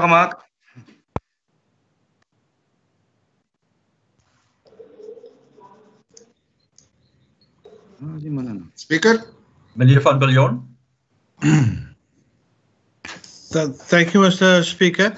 Now, I think in terms of council policy, all indigents are actually uh, receive a 20 amp uh, uh, connection. So if there's a request to upgrade to 30, then the cost is for, for, for, for, for the individual to pay that, that cost. So, so in terms of, of, of the approved policy of council, all our indigents are, are, are are 20 uh, amp and not the 30. So if there's a request to upgrade to 30, surely then normally it be the cost then for for for the individual uh, to, to pay that amount to be upgraded to 30 amp. Dankie meneer van Biljon. Uh No. raadsit raadsit Beyker het 'n voorstel Ja. gemaak. Is daar 'n sekondant vir raadsit Beyker se voorstel? Voorzitter.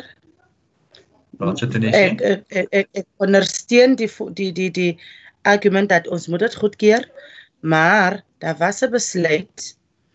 Ek kan nog nie op daai besluit kom nie op nou nie.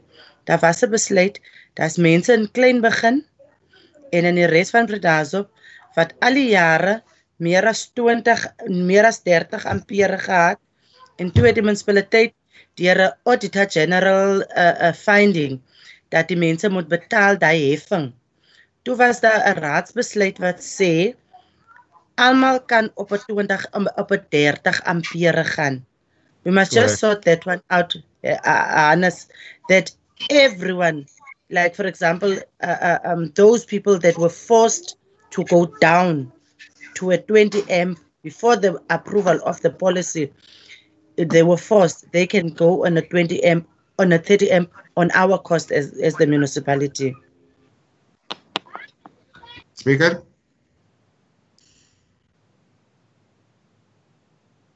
Speaker, Nee. is gemeel. MM? MM ja. Uh, dankie Speaker. Uh, ek dink dis hoekom die die rede hoekom die besluit of die aanbeveling van die finansies en IT dienste kom omdat dit 'n beleidskwessie is om dit te verwys na die Masikani komitee want dis ja. dit is korrek soos die CFO gesê het. Ehm um, as jy uh, Masikani 'n voordeel kry as 'n Masikani behoeftige dan is die uh, sê die beleid dat jy op 20 ampere moet gaan. As ons ook net kyk na die item spesifiek, sê dit spesifiek daar, die persoon was nooit op 'n 30 ampere nie, daar was altyd 'n 20 ampere meter in die in die huis gewees. Ja. So ehm um, dat en, en dat die meter dan nou vervang is omdat dit foutief was. Dis wat in die item staan. En ek dink dis hoekom die die komitee gevra het dat dit dan liewer terug moet verwys word aangesien dit 'n beleids basikane beleidskwessie is dat dit na die basikane komitee toe verwys word vir verdere ondersoek voordat hulle 'n aanbeveling aan die raad maak. Of as indien hulle sou kan en dis binne hulle magte dat hulle dan die besluit neem. Dankie, Dankie, Emem. Dankie, Rasama Martinez. Uh Rasama Martinez, jou hand is op. Yes. Voorsitter, ja, ek dink die raad is in 'n posisie om 'n besluit te kan maak of ons dit verwys of nie verwys nie. Die equitable share wat die regering vir ons gee, um, maak voorsiening vir gevalle soos hierdie en en soos soos die deputy meyer vir ons uitgewys het, ons ken klaar die omstandighede rondom hierdie persoon. Hierdie persoon is behoeftig, hierdie persoon um het 'n gebrek ook en hy kan nie bekostig om hierdie bedrag geld te betaal om sy ampeer te verhoog nie. So die raad moet net 'n besluit neem. Ons doen dit van die raad se kant af en dit word gefinansier uit die equitable share uit wat die regering vir ons gee. Dank dankie Rasama Martinez. Enige ander kommentaar rondom die aangeleentheid? Ek dink die raad moet net seker maak eerstens ons equitable share is reeds toegeken. Daar is nie enige ander uh, goed waaraan dit toegeken is nie. En dis toegeken in terme van die beleid soos die raad dit gestel het. En tweedens, as die raad die besluit sou neem dat ons hierdie persoon moet bystaan, dan moet die raad baie spesifiek wees. Gaan dit net vir die persoon wees en is dit omdat hy gestremd is? Want ek kan nie verseker sodra die besluit geneem is, gaan die versoeke van alle ander indigents af inkom om ook hulle ampere te verhoog na 30 uh, uh 30 ampere toe. So u moet net baie versigtig wees as u die besluit so sou neem dat ons nie toegeval word deur uh die ehm um, die die Masikani uh ehm um, of mense wat al reeds die die die, die voordeel kry nie dat hulle amperes ook verhoog moet word na 30 toe want ek weet dit is 'n redelike behoefte daar buite dat mense dit wil verhoog. As ons kyk na die beleid 6 kl ehm um, water en 50 ehm uh, uh, kilowatt uh, uh, gratis dan is die bedoeling vanaf nasionale regering se kant af dat wanneer jy deel word van die Masikanis uh of 'n voordeel daaruit kry dat jou gebruik nie meer as die gemoed wees nie en dat jy dus dan nie 'n uh, meter of ampere 'n uh, meter nodig groter as 20 ampere het nie. So ehm um, ek dink ons moet net dit ook in gedagte hou. Speaker. Voorsitter. Ehm Burgemeester kan ons tussen nou en die volgende spesiale raadsvergadering. Ek dink deputy het ook daarna verwys en iets lei 'n klokkie. Ons het 'n beleid. Die raad het ergens op 'n stadium, ek weet, ek wil net sekerheid oor die besluit wat die raad geneem het van die mense wat geforseer was na 'n 20 m en die vervanging van 'n 20 na 30 m toe. Daar was ergens so besluit geneem deur die raad. Ehm um, vir hierdie jaar somewhere dat ons mense sal toerus met 'n 30 m Ehm um, en en ek wil net seker maak dat oor daai besluit wat die raad geneem het. So as iemand vir my daai besluit kan opsoek en dan kan ons dit by die volgende raadsvergadering meen uh, dit is 'n 'n 'n vulnerable geval dis 'n gestremde persoon ons weet die persoon gaan nie kan bekostig nie of die persoon kan klaarkom maar ek wil net gaan ons het 'n besluit geneem met die raad ek wil net seker maak wat was daai besluit gewees tussen die 20 en die 30 asseblief? Goed ehm um, kan ek vra kan ek vra dat ons hierdie aangeleentheid na die Masikane komitee toe verwys en dat by die Masikane komitee al die dokumentasie en die besluite daar is. Al die raadslede, wijkraadslede is in elk geval 'n deel van die Masikane komitee. Sodat daar ordentlike besluit geneem kan word. Ons ek neem almal van ons wil graag help, maar ons moet binne die wetgewing bly as ons help. Speaker. Raadsit Beyker. Ja. Ja, nee, ek ek, ek hoor wat almal sê en so. Uh maar ek het ehm um, ek het 'n voorstel gemaak en ek, ek kan nie sien dat die ek meen iemand moet nou uh, ek moet as daar sekondant vir die voorstel of daar teen voorstel of of woon tema van prosedure van vergaderings. Goed. Raadsit Beyker het 'n voorstel gemaak dat die raad die geld betaal vir die opgradering is daar sy kontant vir dit.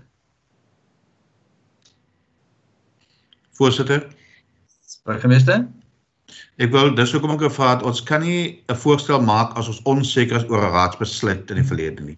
As die raadsbesluit as die raad reeds 'n besluit geneem het dat ons verantwoordelik is om die 20s na 30s te vervang, dan is dit nie nodig dat die raad weer 'n besluit moet neem nie. Ek wil net seker maak of die raad so besluit geneem het. Dit is my voorstel. Dit wat ek gesê het dat ons by die volgende raadsvergadering en dat die Masikani al die goedes vir ons kan agter mekaar kry vir die volgende raadsvergadering.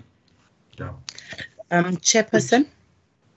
Die. Masakane op op die agent op die, die jaarplan die die die jaarplan sê die Masakane van plaas die die die die, die we are now in August on the 12th of August. So I think we will keep that date of for Masakane for the 12th of August and then we can we can discuss this so that it can be ready for the 13th. So um, I think let's have all the policies so that we we protect ourselves. But for me, um, okay, I, let me not let myself ene nie. But let's let's leave it for that, Raymond. Um, Mr. Temers can wait a few days just for us to be certain of a decision that was taken rightfully we we need to abide by all our mm. rules and regulations and our policies. If the policy says that then masakane would recommend then the next day it's council meeting. So let's let's hold this one until the next council meeting. That is my plea. Goed, enige enige raad verder kommentaar?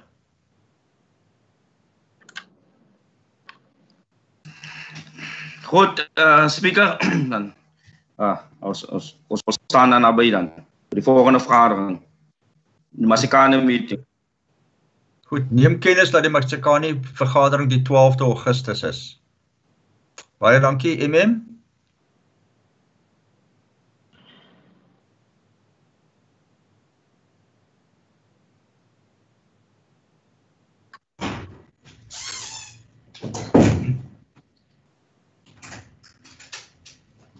Waar is MM. Nou, Em is op mute. MM jy's op mute. Ek hoor hom praat hier langs aan my, maar ek hoor hom nie hier op die rekenaar praat.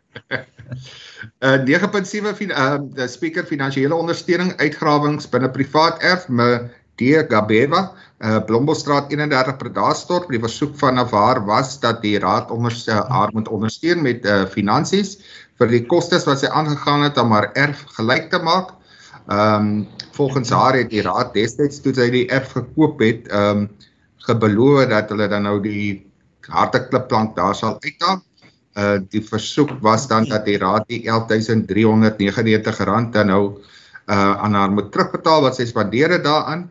Die finansiële kredietdienste komitee is het dit oorweeg en die komitee ondersteun die vergoeding ten opsigte van die koste aangegaan maar dat die aangeleentheid na die sosio-ekonomiese komitee verwys word vir oorweging. Speaker weer eens hierso, ehm um, dit is 'n privaat erf. Daar's geen bewyse wat die persoon kan lewer dat die raad dan nou sou beloof het om die erf gelyk te maak nie. Sy die die erf as is verkoop soos in Engels sê of gekoop van die raad af. Ehm um, en uh, ja, ek weet ek het dit oorweeg al, sy het dit na my toe gestuur, ek het dit afgekeur, maar sy het aangedring en daarom is dit dan nou na die raad toe verwys. Dankie MM, Raadsit Beyker. Ja, speaker. kyk, kyk sy die huis ontvang uh HOP huise en dit en dit is deel van die op die kopie huise. En en so sê in haar in haar uh, versoeke rig en in haar briewe gerig het. Dis 'n probleem wat wat van dit die van dag 1 af was dit uitgewys aan die amptenare. En uh na jare se uh, gepraat het niemand daar aandag gegee nie. En ek meen haar man is al op die stadium oorlede so sy weduwee op die oomblik en nou sit sy nou wat sy na jare vergoed nou sit sy met die probleem. En dit is waar om waarom sy die koste moes aangegaan het nadat die direkteur meneer Aziz en ek self ook weer daar by haar gewees het en dit dit ook vir die ehm um, komitee gedien en dit het ook voor die voor die ehm uh, tegniese dienste komitee gedien waar seker besluite geneem is. So uh, en, en soos ek sê en dit was uh, ook by die vorige voor die COVID-19 nog toe ons nog vergaderings gehad het. Uh, dis hoekom ons nou so lank gevaar het ons mos nou nie weer na na 27ste Maart vergaderings gehad het. So die goed kom al lankal aan nou en hier wil ek ook 'n voorstel dan rig aan die raad dat die, dat ek men ek, ek ek hoor nou wat die finansies komitee gesê het dat dit moet terugverwys word maar ek meen ons is nou in 'n raad my voorstel sal wees uh uh dat uh, as gevolg van die probleem wat nie deur haar veroorsaak was al die jare uh dat dat die raad dit sal dit sal oorweeg en dit sal goed teer uh en en en en en dan die geld in agter en dat en dat ons maar uh, ons CFO moet kyk dan waarvan die geld dan behaal word. Voorstel in uh, in die raadsvergadering. Dankie Raadsit Beyker. Ehm um, net vir 'n bietjie ehm uh, meneer van Billjon. Nee, Donisie, speaker.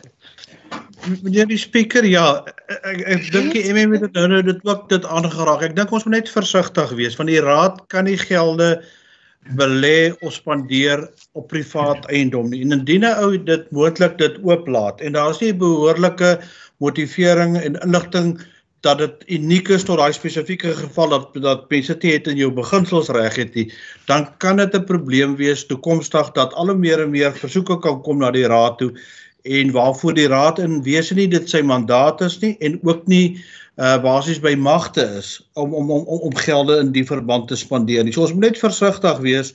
Ehm uh, wanneer dit kom by die die tipe van aangeleenthede en so wat die MM aangedui het, wanneer die eiendom verkoop word, gewoonlik word dit voetsoort verkoop uh aan enige eienaar wat dit bekend gestel word. So ons moet nie vir onsself in 'n struik trap en 'n president word geskep en dit word daarvolgens dan gehandhaaf in die toekoms ook nie. Goed, dankie. Dankie Johannes. Ehm um, Raad se Tunisie. Ons gaan nou by wag het teken. Thank you so much speaker. If you look beautiful today, you know, you so you look so nice. Um Wie? Speaker. Ek wil net sê die die hele klein begin, die hele op die koppie huisies is mos 'n probleem. En ons dra almal kennis dat die op die koppie huise has been one of our mayor's cops here because people uh, were given houses and those houses were poorly built. My recommendation, Speaker, as the CFO and the MM has mentioned, and also in the report, is that we cannot, as a municipality, to to to to it, will be a query from the auditor general. What i'm my recommendation is then be because this Mevrouw Kapeva is not the only one that has problems in Kleinbegin. The whole there's a holistic approach in terms of what is the plans in the future with regards to to to the opicopiasis. My recommendations will then be once we deal with the whole project of opicopy, then we will also get to deal with Mefro Kapeva's issue. We cannot pay money to for private uh, uh, um, for private property. So my approach will then be we write a letter to Mafro Kapeva to tell her that we are busy with a plan to ensure that those houses look better than what it is. So at this moment, I won't recommend that we that we pay that money because it will be a query from the Auditor General. I want to agree with the CFO and the MM. Thank you. Uh, speaker. Wat is Baker? Ja. Speaker. Ja. Ek ek ek verstaan nou regtig die hele storie nie en die algeniede. Dit wat nou voor die raad is. Dit is mos nou 'n uh, individuele 'n vrou wat vir jare vandat sy die huis ontvang het 'n probleem gehad het. En dit uitgewys het en ek meen ek dink daar seker by eerder wat afgeleë was rondom die aangeleentheid. Nou rig sy as 'n individuele persoon na 'n 'n 'n 'n probleem na die raad of 'n soek na die raad toe. Nou wil ons dit kom vir vir algemeen as die Kapagallas munisipale raad. Ek ben hier moet ons nou oorweging geskenk word aan die individuele persoon aan die wat die is. En sy soos hy soos hy in die agtergrond sit en in die dokumente uitwys dat uh, dit is 'n ding wat ja en en mense het gegaan Die vorige vorige raad het ook gegaan na na niemand het 'n oplossing gegee nie. Nou sit sy as 'n individuele persoon met 'n probleem, hoe moet dit opgelos word? Dan sy wil nou graag aanbou aanbou. Of moet sy nou nie meer uh daar gesterf het ook al in die toekoms en dan is die probleem nog uit, uit opgelos nie. Ons kan dit mos nie nou kom staan vir algemeen nie. Of anderste moet ons moet nou as 'n raad moet die raad en sê dan moet mense nie individuele versoeke na die raad toe rig nie as dit dan nou die gesindheid is hoe ons dit goed hanteer. So uh my versoek ek kom weer terug na dit uh as 'n raadslid is my versoek dat ons uh want soos die wyskomitee ook hier sê dat ons oorweging moet skenk as die raad om om om vir goed vir die uitgawes wat sy aangegaan het. Dit was nie haar skuld dat haar huis gegee was te 'n groot uh wal in 'n in 'n jaarsgebou was hy. En dat dit ons daarvan gaan. So dit is my versoek uh uh uh, uh speaker. Baie dankie. Dankie Raadslid Raadslid Goed, kan ek ehm uh, voor ek net verder gaan, Raadslid Beyker het 'n voorstel gemaak. Is daar 'n sekondant vir Raadslid Beyker se voorstel? Okay. Hou my net op as ek doodslaan. Raadslid Danny? Speaker. Ja.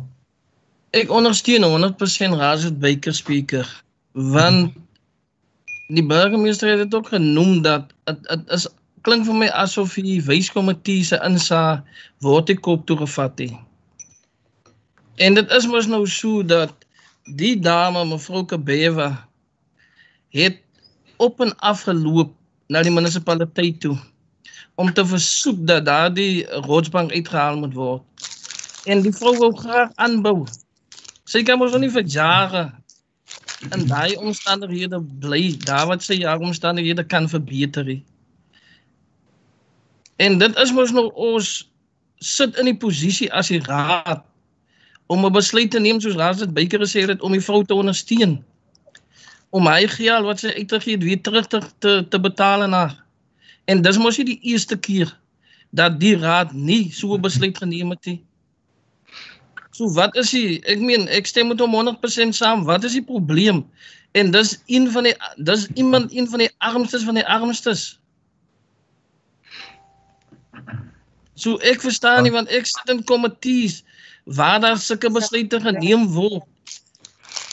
So laat ons as raad wys vir die gemeenskap dat ons omgee vir hulle en dat ons die besluit neem en sê kom ons betaal geld terug. Dankie Raadsit Europa. Ehm um, Raadsit Tunisië. I think the I think the IT portfolio made a, emotional sorry made an emotional um, recommendation. Remember i'm saying this again. Remember in klein begin this earth this house is not the only house that is faulty. If we are going to approve this one, then we must approve the others that are going to come. My plea today is that we, we there is a plan with regards to the holistic opicopiasis that we as Cape Agulhas, we are we are busy with. And secondly, when we look at the financial implications, what, what the officials are saying, die raad kan nie aanspreeklik gehou word vir werk op privaat eiendom nie. Die supply chain management processes is nie gevolg nie en en die uitgawes sal deur die auditor general uitgewys word. What else do you want, councillors? What else do you want? Because once we approve this one, then Councillor Baker's neighbor that also have a ROTS, then I received a house in 2014 and now there is a big rot or the, the there's a big rot in the yard. Now I would also want to claim at the municipality. Let us make sure that let us allow the process of the housing department to continue, Councillor Baker, We're not saying we, we understand that she needs to extend, but at this moment we cannot, as as as this council, to to pay for on a private property, which which is stipulated in black and white, that you cannot. If that was the case, why are we not building houses at at, at in Elam? Because it's private property. You are not allowed to build on private property. So which one is it that you guys don't understand? What I'm saying, what I'm asking today is that let us ask Mr. Mafroka Beva, she's waited for 16 years. Let's ask her to please hold on so that we do the holistic approach of the opicopiasis. We do have a plan. We cannot work on private property. Thank you, Speaker. You, Burgemeester. Ons sê ek wil nou net uh net uh, uh bevestig dat wat uh die deputy nou sê. Ehm um, ek wil net met raadslid uh Europa uh wat gesê het dat ons moet wys dat ons 'n raad is wat omgee. 'n Raad wat omgee. Ehm um, op die kopie huise was ek dink so 2, 3 jaar terug uitgewys. Uh ek het dit uh besoek en ook die tweede keer saam met die minister dat dit een van die plekke is waar die slegste huise gebou was en oorhandig was. En dat nou na hoeveel jaar dat ons uh, ek weet nie wie aan die vrou die beloftes gemaak het dat ons sou terugkom of dat die raad uh, sal terugkom om dit reg te maak nie. Dit is nie in hierdie raad se tydperk nie. Maar wat hierdie raad mee besig is uh, is dat ons wertewaar en ook ons wil dit nou weer eens bespreek met die met die, met die minister dat die verslag uh, opgestel word en dat ons wertewaar kyk want daar is baie baie baie gebreke aan baie meer huise as een in op die koppie. Ehm um, en dit is in privaat, die mense dit is al klaar hulle name al uh, geregistreer. So uh, wat deputy sê as ons nou met die een uh, begin dan gaan ons 'n stortvloed kry want daar's 'n baie kraak in 'n klomp huise daarso. En dat ons tog nog net so geleentheid begin word. Ehm um, want ek het ook in die week gesê dat ons die departement, ons eie departement 'n bietjie sokkies optrek rondom die verslag ehm um, wat wat wat gefinaliseer moet word. Ehm um, maar ons kan nie binne in 1 jaar die 16 jaar se probleem nou onmiddellik aanspreek nie. Ons moet dit gee vir ons die geleentheid dat ons moenie minister praat en dat ons 'n algehele oplossing kom om die holistiese probleem op te los. Ons kan nie vir die raad waarna ons behoort werte waar nou uh uh die die die ons gaan ons gaan 'n hele kan kas wurms oopmaak by rondom die op die koppiehuise. Dankie uh spreker. Dankie burgemeester. Goed, ek het nou twee voorstelle. Ek het die voorstel van Raadslid Beyker dat ons dit betaal en ons het in 'n sekondant van Raadslid uh Europa. En dan het ek 'n voorstel van Raadslid Tunisie wat sê dat ons na die holistiese pro projek moet kyk of die omgewing en die probleme en dan ook 'n sekondant van die burgemeester op ten opsigte van dit. So kan ek net sê ehm um, van my kant af, ek dink die raad is simpatiek op die gevalle. Maar ek dink ons moet dit baie baie mooi oorweeg dat ons nie buite die wetgewing optree wat vir onsself probleme gee nie. So ek gaan nou maar vir u vra om te stem rondom die twee aangeleenthede dat ons 'n besluit kan neem rondom dit. Die wat raadslid Buyker se voorstel ondersteun, kan jy net vir my wys per hand Wie van julle wie van julle ondersteun dit? Raadsit Europa, Raadsit Beyker en is daar nog iemand? Ek sien nie, ek kan nie die handjies sien nie. Goed. Ehm um, die wat Raadsit Tunisiese voorstel ondersteun per hand, kan vir my wys per hand. Raad se Tunisie, raad se swart. Ek kan nie almal se hande sien nie.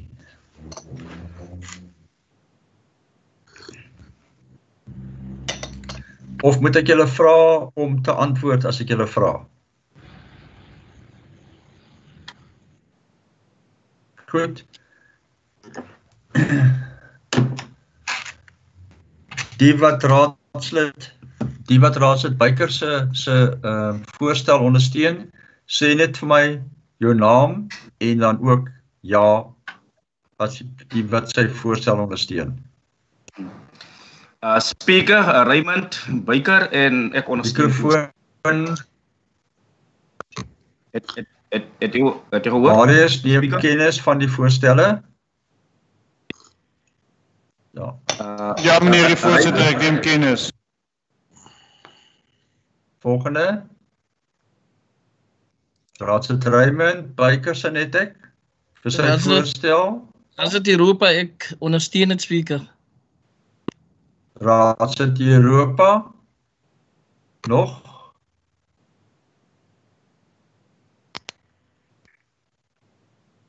Goed.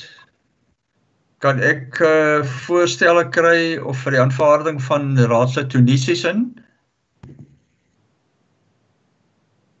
Wie swak? Voorstel? Um, Raadslid. Swart. Raadslid Tunisi.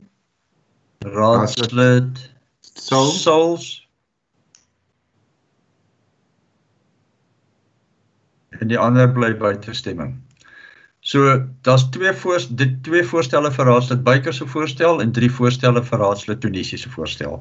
Soos raadslid Tunisi se voorstel dat as 'n holistiese omgewing kyk rondom die hele aangeleentheid is die een wat dan dra. Baie dankie. But Speaker, so Speaker, can I just get clarity with regards to the other councillors? What are they saying? So out of the 11 councillors, only five councillors participated in this whole process. What about the other councillors? As a, la- het hulle 'n of what is it? They must say ek teken 'n teenstem by albei of they must just say something. Speaker. Raadslid Martinez. Speaker, jammer, ek het so 'n bietjie tegniese probleme nou hier gehad en 'n stukkie van die vergadering gemis. Nou staan twee voorstelle op die tafel. Daar's net twee voorstelle op die tafel, nee, Raadslid Beyker. Kan kan speaker net herhaal wat is die twee voorstelle asseblief? Breek.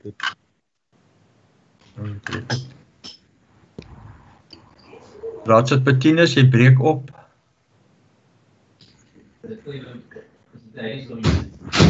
Speaker, ek het ek het vir Raadslid Martinez gehoor.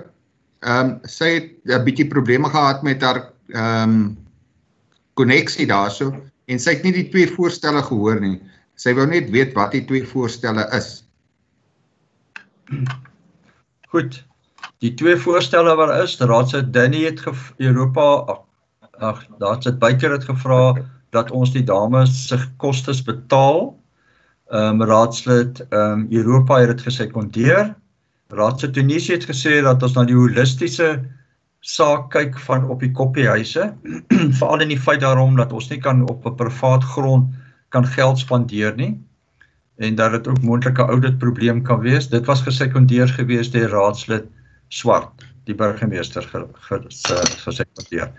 Toe het ek gevra vir die persone wat raadslid Beyker se voorstel ondersteun, wat raadslid Beyker gewees en raadslid Europa. Ek gevra watter raadslede ondersteun raadslid Tunisië sin dat as 'n holistiese ding kyk, was dit raadslid Tunisië gewees, raadslid Swart en raadslid Souls. Daar was. Okay. Sp um, speaker, ek ondersteun Raadslid Beyker se voorstel ook want dit is ons weet mos dit is 'n probleem wat ons geskep het vir die mense daar. Daar is iewers gesprekke dat ons selfs daai huise moet terugkoop by die inwoners en vir hulle ander huise moet voorsien. So ek ondersteun die voorstel van Raadslid Beyker. Dit is 'n probleem wat deur die raad geskep is en die vrou was daardeur gebenadeel. So ja, ons moet haar vergoed. Dankie spreker.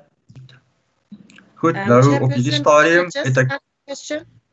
Chair, Yes. can I just ask a question to Councillor Martinez, if I may? Councillor Martinez, you always advocate the the the rule of law. No? If I if I as ek vir jou gaan opsom, you always say that we must stick to the rules of the of the books. Now, tell me, as the longest serving councillor, I think after Councillor Yankis, the longest serving councillor, what does the MMFA say with regards to private property and where the municipality should uh, uh, intervene and and give money, and as we, not not with holding the report from the officials saying one, two, three, four. But what does the rule of law say?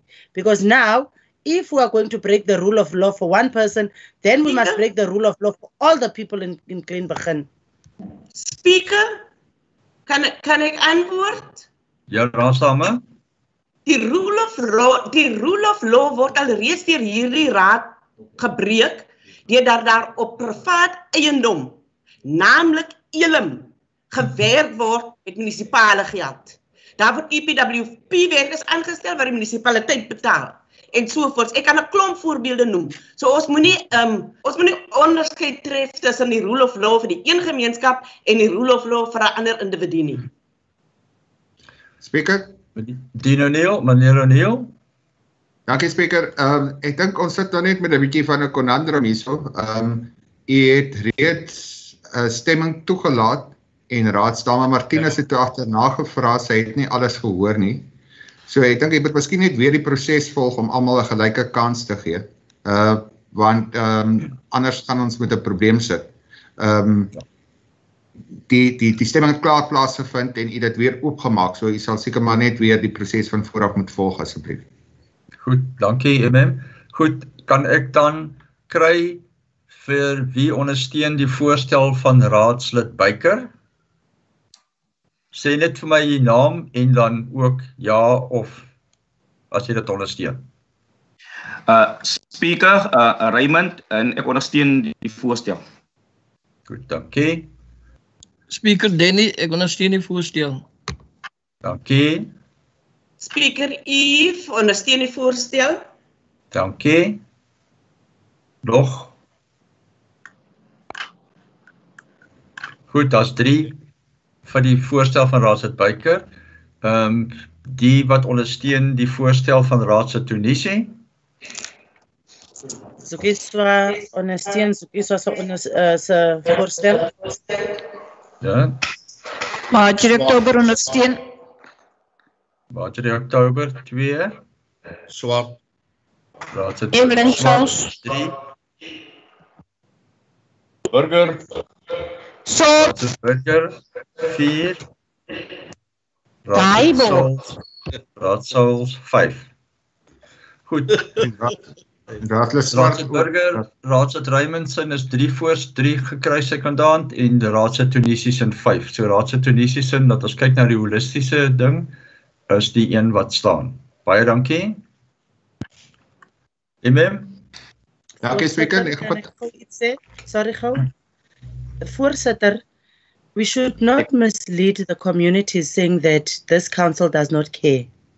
We are busy with a bigger with a bigger project for Opikopi. I want that to be noted. In our portfolio committee meeting, you will see there's dates and time frames that has been set out by the director Henry Kroon with regards to one of the issues, the opikopiasis. Daar is 'n plan wat ons gaan waar, waarvan ons wil graag wil werk. Maar sodra ons daardie plan het, dan sal ons met die breër gemeenskap van klein begin in gesprekke intree rakend die plan vorentoe. Ek wil net daai net laat dit in gerekord word dat ons is besig met 'n plan vir daai huise. Dankie. Dankie. Raadsit Tunisie, ons is nou klaar met hierdie punt. Laat ons aangaan na die volgende punt toe. Baie dankie. Speaker is nie reg nie. Wat sou keer Wat ek wil sê speaker is dat niemand het gesê die raad gee nie om nie. Nee. En maar nou Raad Tunesië het nou dit gesê ons moenie die die publiek mislei nie. En nog 'n ding is dit speaker is dat moet die uitdeel van die kospakkies dit het vir ons maande geve- geveg. Beklei moet die raad dat hy kospakkies uitgedeel moet word aan die mense dat dat dat die geld moet moet losgemaak word. So in alles wat ons doen is daar 'n Speaker, order. en dan kry die Point raad of order, speaker, this is not part of the agenda. teruggaan? It's not 'n of speaker. besprekingspunt op hierdie agenda nie. Nee, mem, kan ons aangaan na die volgende punt asseblief. Speaker, is deel van omgee. Dankie belangrik. Dankie. Is die beskikbaarstelling van erf 3461 Bredasdorp.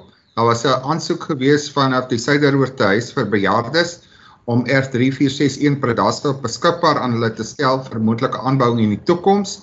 Uh die erfgrootte is omtrent 167 vierkante meter. Dis reg langs die bestaande ehm um, ehm um, fasiliteit van die van die huise bejaardes in Langstraat. Ehm um, die aanbeveling bestuursaanbeveling was dat R 3461 Bredasdorp ongeveer 167 vierkante meter ingevolge artikel 142A van die MFMA nie benodig word vir die lewering van minimumvlak van basiese dienste nie dat die raad in beginsel die grond genoem erf 3461 Bredasdorp gratis aan Suiders oort te huis vir bejaardes beskik- beskikbaar stel vir moontlike aanbouing in die toekoms dat die onderverdeling aansluiting van munisipale dienste en die oprigting van die gebou vir die aansoeker se rekening sal wees en dat daaraan alle goedkeuring soos vereis deur die relevante wetgewing voldoen moet word voordat enige voorgestelde gebruik en aktiwiteite in aanvang neem. Die aanbeveling van die Finansie en IT Dienste Komitee was dat die bestuursaanbeveling aanvaar word. Goed, kan ek dan 'n voorstel kry vir die aanvaarding van die bestuursaanbeveling? Raadse Tunisie. Raadse Bettinus, die hand is op. Ja, speaker. Um voor ek um dit ondersteun, wil ek net graag weet die die grond waarop ons huis is, nê, nee, want dit gaan oor ons huis wat moet uitgebrei word. Nou die grond waarop ons huis is, is dit nie die munisipaliteit se grond nie en die gebou nie. Um hoe lyk dit dan nou ons moet 'n stukkie grond vir die suider oorgee en die grond behoort al reeds aan ons aan die munisipaliteit. Dat die, die stukkie grond moet mos maar net gekonsolideer word met die erf.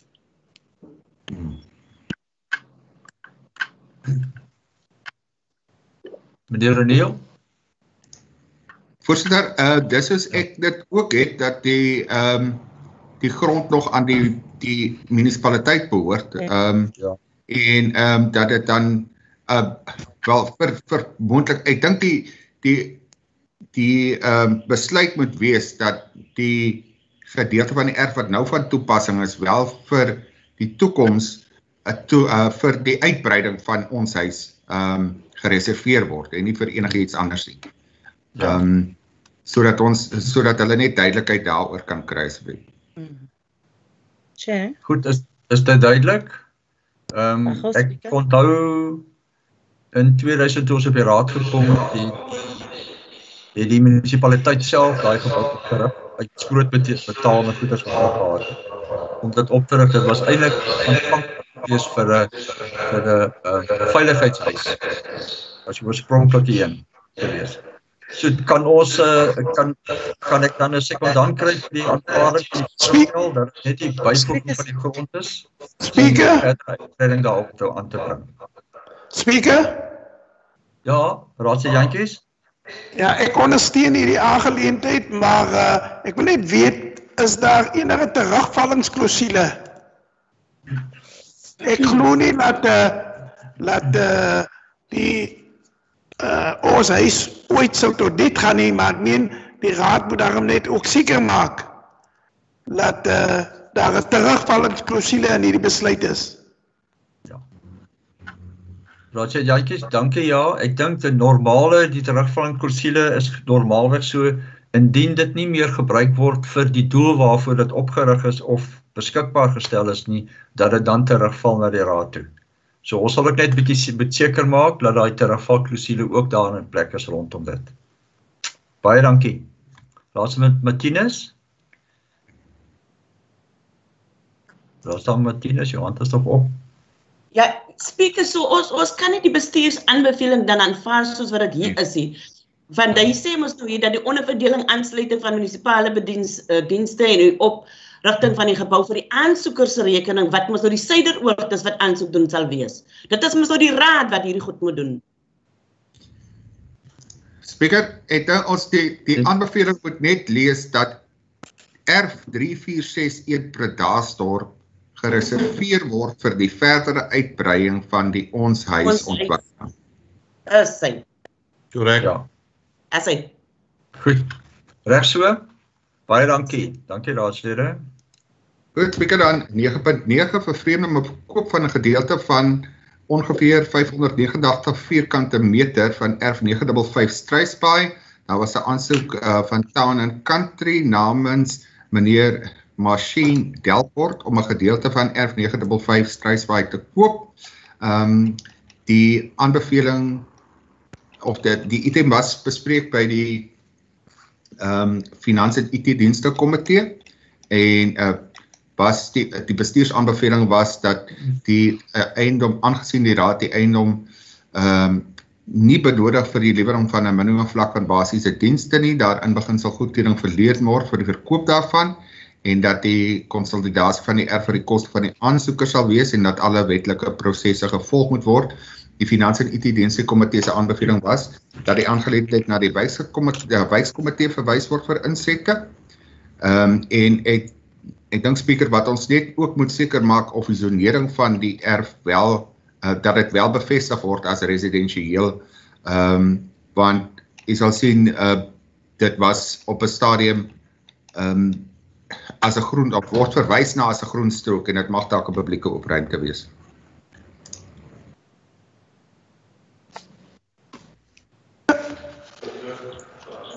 Speaker, kan ek maar praat?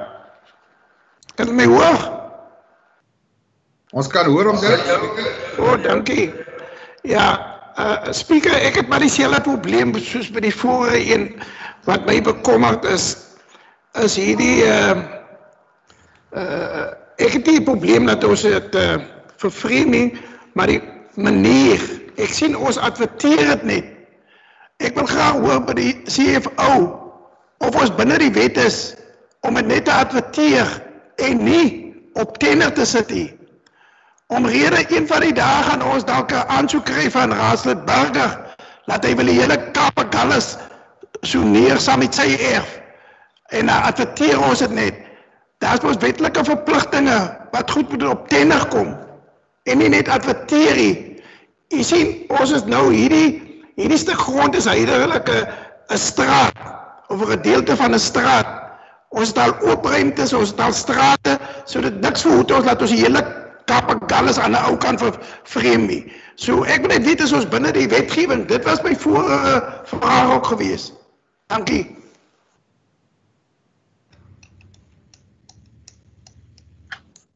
Die spreker kan ek beantwoord? Anders asseblief, ja, dankie. Ja. Uh, uh, ek ek weet net om vir Raadslid Burger net te, te antwoord. As jy gaan kyk na dit uh as jy gaan kyk na vervreemding van 'n spesifieke erf uh uh op op sy eie dan is daar wel prosesse wat baie keer as die raad kan besluit om dit wel uh by wyse van 'n tender beskikbaar te stel aan aan aan aan voorgenome kopers. Sou daar geen besware wees nie dan kan jy daai proses volg. Of wat wat dit ook kan gebeur is dat jy dan publieke tender gaan en dan uh insette inwin in baie van die gevalle soos wat u sal sien waar dit 'n gedeelte of 'n klein gedeelte is, uh is dit basies net 'n gedeelte van 'n erf wat toegevoeg word en daarom is dit dan wanneer jy deur die proses gaan om besware in te win, kan die raad so besluit word dat dit wel aan 'n spesifieke persoon toegeken word, solank dit net binne die die aanvaarbare markwaarde van van daai eiendom net sal wees.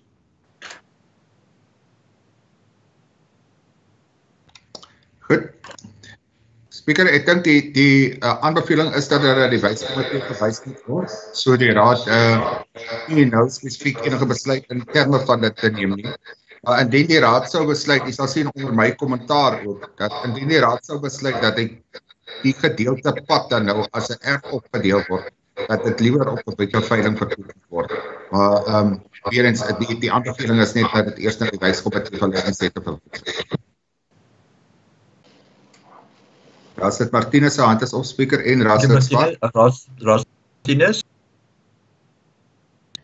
Speaker ja, uh, um die die die gedeelte wat waarvan ons praat is plus minus 589 vierkante meter. So dis 'n klein gedeelte wat net moet gekonsolideer word aan iemand se erf nie. Um en ek wil my verstout deur te saam met die munisipale bestuurder te stem deur te sê dat ons moet liewer gaan vir die opsie dan as ons die grond wil vervreem dat ons moet gaan vir die opsie van um subdivide en um op op publieke tender dit dit dan vervreem, maar nie aan 'n persoon wat nou net 'n behoefte het daaraan nie. En dan die wijkkomitee moet ook hulle insette gee. So hierdie item moet weer terugverwys word ook na die wijkkomitee en dan weer terugkom na die raad toe. Maar maar dit is ons kan nie net grond aan individue verkoop sonder dat prosesse van die MFM ingevolg word nie.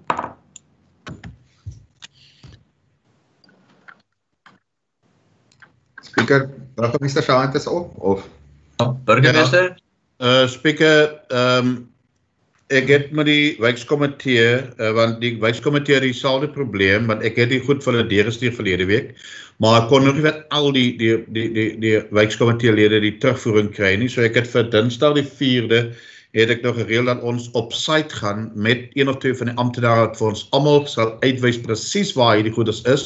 Dan ons gaan kyk dit as we agterna en dan sal ek 'n verslag laat opstel of 'n notule dat by, die volgende spesiale raadsvergadering sou wat dien. Ons wil net die dat die, die tyd weet verleng word hier dat ek dit sommer by die volgende uh spesiale raadsvergadering so 'n aanbeveling uh sal sal maak vanaf die wijkkomitee. Ek wil net weet die die die voorstel of of die die munisipale bestuurders se uh, inset ehm um, op op hierdie een is dat jy weet mense moet kyk of die die erf langsaan jy weet groot genoeg is om dit uh jy weet uh uh um op veiling te sit. Is dit groot genoeg vir nog 'n huis? So dit is net goed as wat ons op daardie plaas wil gaan kyk daarso. Maar ek sal terugvoer gee voor die volgende spesiale raadsvergadering. Baie dankie burgemeester. Goed. Amen. Dankie spreker. 9.10 vir vrede um, of ontwikkeling van erwe 852 en 857 Struisbaai. Uh dis vir die raad om oorweging te skenk aan die eiendom um om erwe 852 en 857 Struis Struisbaai aan LTN bedrywe um in fases te vervreem. Die raad het reeds uh, by vroeëre geleentheid oorweging geskenk om 'n gedeelte van erwe 852 en 857 in Struisbaai aan LTN bedrywe te vervreem om 'n kommersiële ontwikkeling daar te doen en die koopprys was toe bepaal op 19 miljoen rand en volgens ooreenkoms moet die ontwikkelaar 'n 5% non-refundable deposito uh van 961000 rand betaal nog voordat daar enige verkope was. Die koper versoek nou dat die raad uh die ontwikkeling in twee fases uh, om die ontwikkeling in twee fases te doen maar die koopkontransie 'n kooptransaksie word net verseker vir 'n gedeelte van die grond waarop fase 1 van die ontwikkeling sal voortspruit. Daar was toe 'n skrywe gerig vanaf ons prokureur uh teen opsig van die aanbe aanbeveling um, en hy meld in sy in sy skrywe dat dit blyk dat hy dis nie die oorblywende gedeelte van 60% wil voorbou as 'n opsie of reg van eerste weiering wat uiteraard nie sal voldoen aan die bepalinge van die MFMA nie. Uh, die, die die raad het ook geskrywe uh na Kusasa Commodities verwys en ook na Clearlake Capital toe en uh weens dieselfde rede dat hulle dan nou nog nie die ooreenkomste geteken het nie. Die markwaarde asie, die markwaarde van die verkleinde deelte van LTN bedrywe moet nog aangevra word en um, die aanbeveling vanaf die finansies en IT dienste uh, komitee was dat die geland uh, aangeleentheid ook na die wyskomitee verwys word vir insette voordat dit weer na die raad gebring word vir oorweging.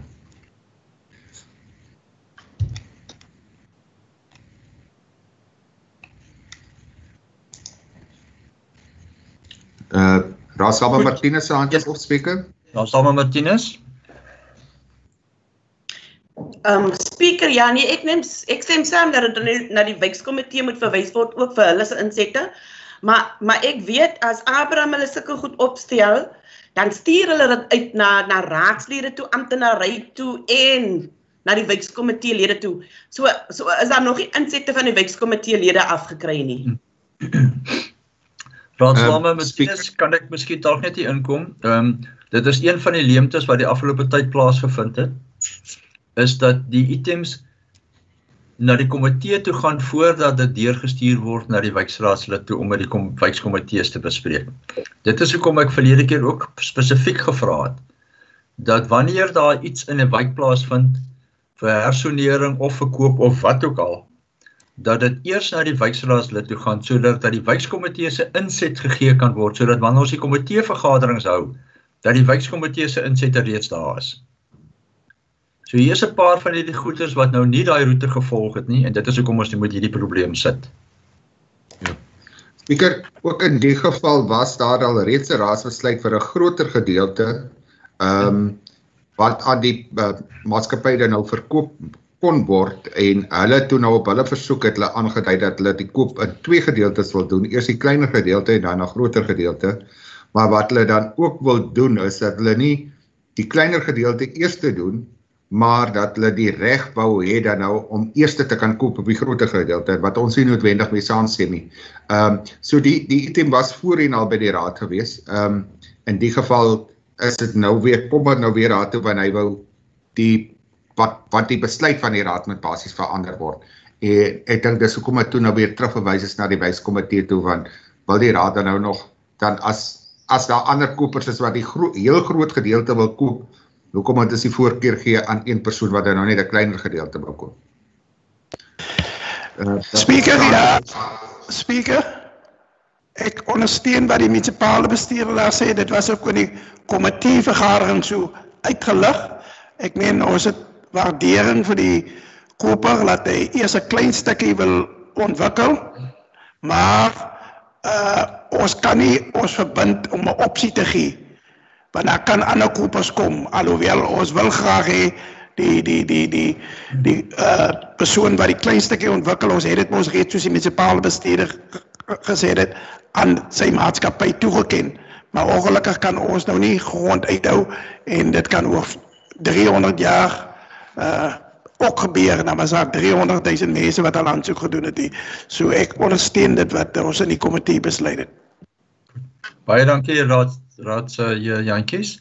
Ehm um, burgemeester Spreker, ehm um, dit is een van die dinge wat ek sal bespreek. Eh uh, daar het al reeds soos ek sê ek het dit verlede week ehm uh, aan die wijkkomiteelede uitgestuur. Ehm uh, ek kon net eh uh, uh, drie se terugvoering kry waarvan twee positief is dat ons ehm um, dat hulle ondersteun die die die die raad se se se se die die die aanbeveling.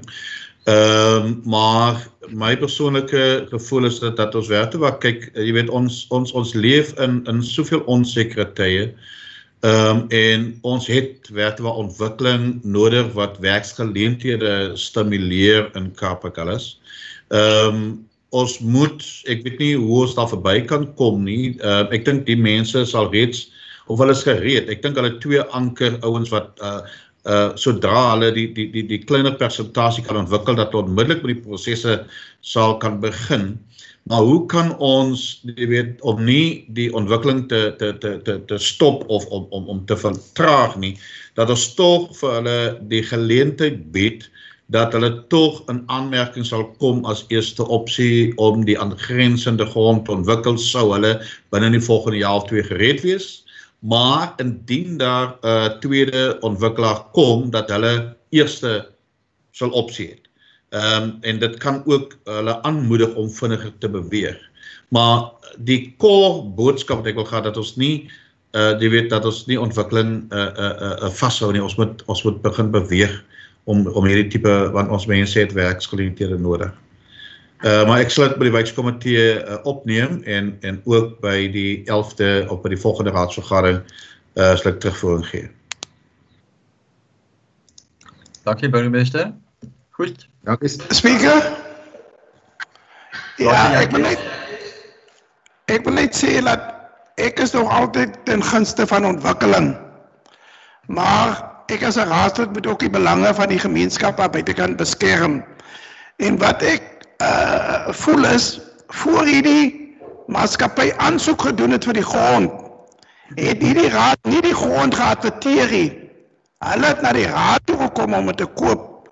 En ek voel as hulle hierdie klein stukkie wil ontwikkel laat hulle dit ontwikkel maar die raad hoef nie op tender te gaan met die ander gedeelte nie ek meen dit kan al daar lê En as die persone wil oor 'n jaar of 2, 3 begin uh, belangstel, dan kan hulle terugkom na die raad toe.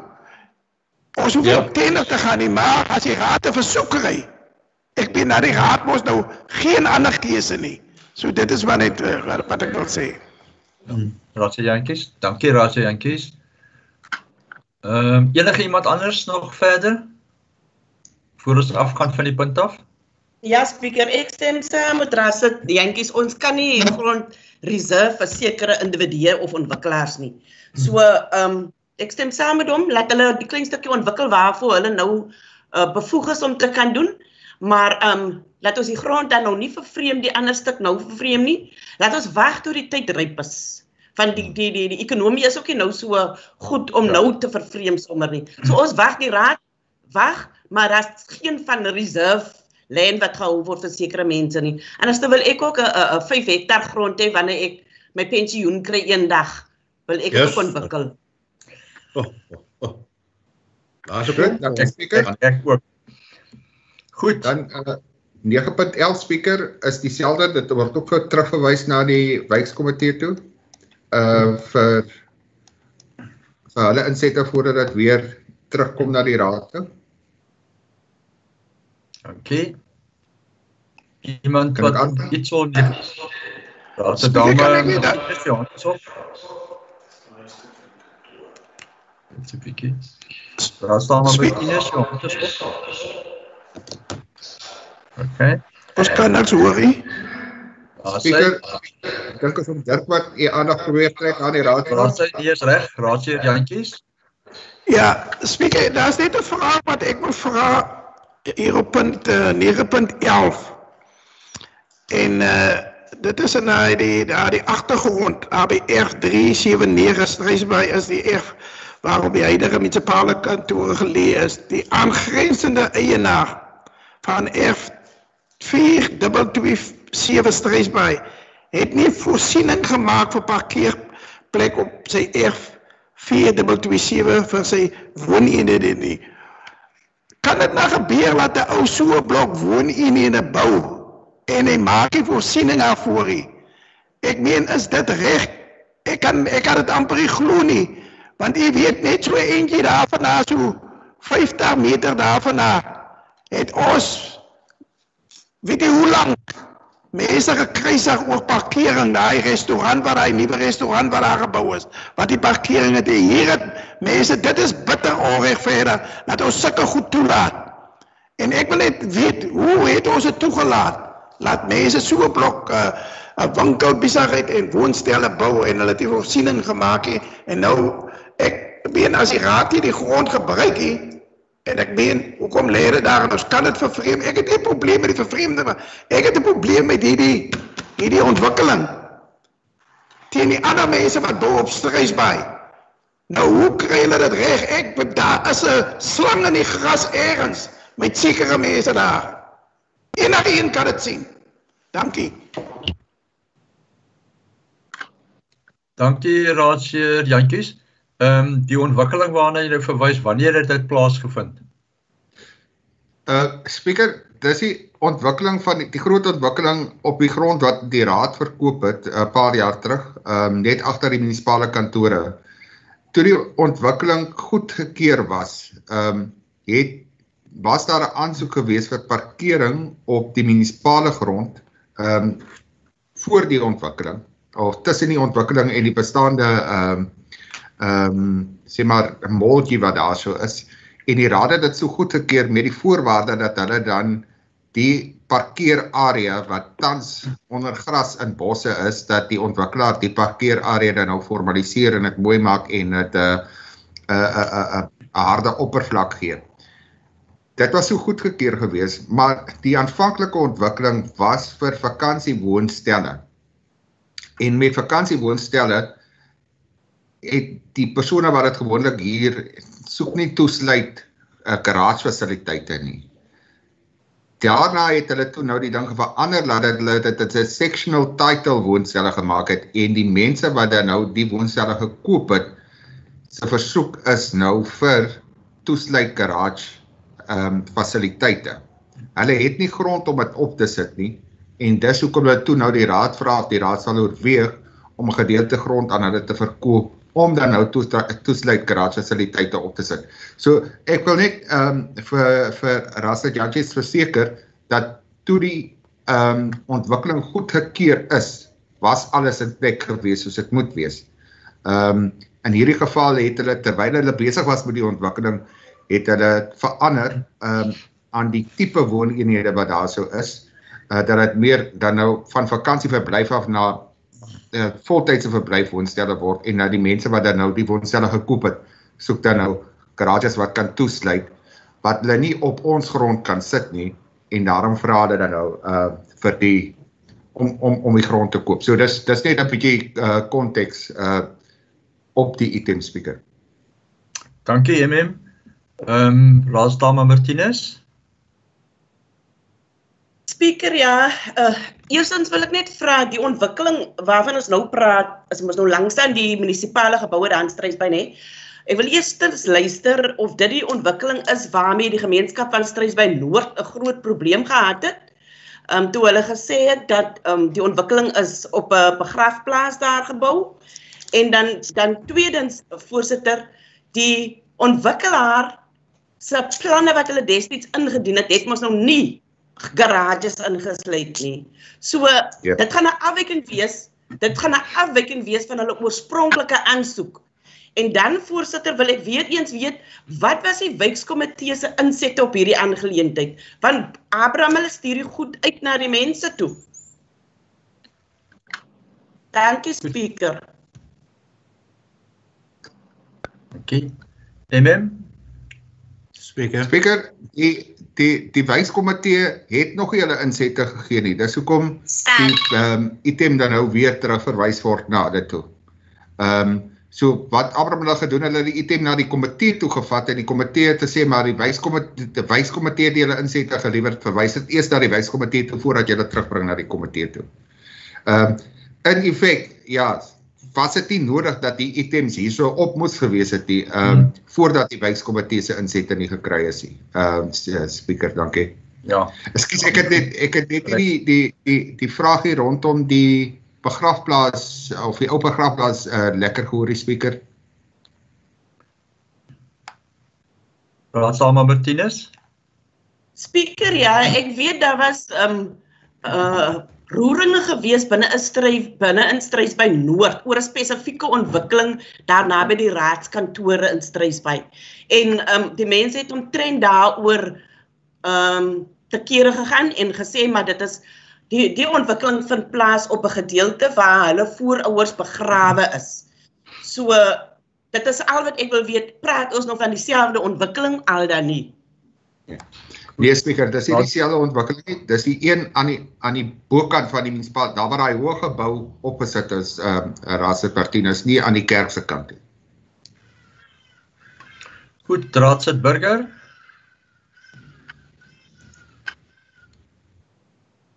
Dankie spreker. Nee, ek wil ook net bevestig dat uh dit nie op daai perseel is nie. Uh Raadsdame Martinus, dit is op die ou tennisbane. Maar wat ek wil net Raadsheer Jantjies ook antwoord, ehm um, die ontwerp was dat die parkering binne in die gebou sou wees. En vir die eerste uh anker kliënt was dit aanvaarbaar, maar die huidige kliënt toe hy die kontrak teken toe sê hy nee, hy wil die hele spasie hê. Hy wil nie 'n parkering afstaan of 'n uh, vloer op oppervlakte afstaan in die gebou nie. En dis hoekom dit toe nou gebeur het dat hulle planne moes verander omdat PA Maree betrek nou die hele gebou. Toe het hulle probeer om dit voor die gebou op te sit en daardeur het ons 'n streep getrek en dis hoekom hulle nou kom vra om dit teen hulle muur op ons grond te sit. Dis die agtergrond. Dankie. Dankie Raadsit Burger. Ehm um, burgemeester, jou hand is op. Ja, ons wil net sê, ek meen ehm uh, ehm um, ek het altyd 'n probleem dat mense net, jy weet, seker goed is net sê, so maklik kan om om jou tong het mos nou nie bene nie. Jy jy, jy klap net so baas met die tong beheer. Die Bybel maak vir ons waarsku ons daarteen dat dat daar dat daar slange in die gras ergens is met ontwikkelings by sekere plekke. Ek meen dit is onverantwoordelik vir vir raad om dit te sê. Die raad het sekere besluite geneem. Daar was aansoeke, soos die munisipale bestuurder besluit en soos wat Raadsit Burger nou besluit het. Daar was 'n aansoek na die raad toe dat die garages dan ehm um, soos ons aan die begin voorgestel het of voetekeer het op die parkeerarea. Dit was 'n aansoek nadat en uh, die bure daarteen kapsie gemaak dat die garages voor hulle huise opgesit, die wijkskomitee het 'n probleem daarmee gehad en dit is hoekom dit afgekeur was. Ehm um, so so ek wil net sê dat asseblief toe ons moenie net uh, seker moet ons net sê in 'n raadsvergadering nie. Ehm um, as dit nou 'n probleem is, die ontwikkeling het klaar plaasgevind en as ons en as ons as as raad En ek meen ek moet die insette van die wijkskomitee kry wat paar van hulle wat al reeds gegee het al. Maar as ons werklik waar kyk na as indien daar grond beskikbaar is, ehm um, en die die die die kon die kontrakteer of die ontwikkelaar het sekere uh, foute gedoen om nie nou voorsiening te maak vir garages nie. En ons het grond en die wijkskomitee is daarmee uh, tevrede. Ek meen uh as die grond beskikbaar is teen aan hulle grond en dit kan 'n inkomste wees vir die raad, dan kan ons dan moet ons 'n volwasse besluit daaroor neem. Maar soos ek sê, ek sal 'n uh, insette kry van die wijkskomitee en terwyl keer by die spesiale raadskomitee vergadering. Daai dankie spreker. Dankie burgemeester. Ek het twee ander wat raadslid Europa sinne en raadslid Tunesië sin. Dankie raadslid Europa. Hey raadslid Jantjie so. Goed. Raadslid Europa, raadslid Tunesië en raadslid Jantjies. Speaker, my vraag is maar my vraag is maar net indien ons nou dit gaan goedkeur. Is daar 'n toegangspad tot by daai garages? En indien daar nou nie is nie, as daar nou 'n versoek gerig gaat word om 'n pad daarna toe te bou, gaan dit nou op raadsonkoste wees of gaan die ontwikkelaar self die pad bou? Dankie speaker. Dankie. Raadse Europa, raadse ehm um, Tunesië.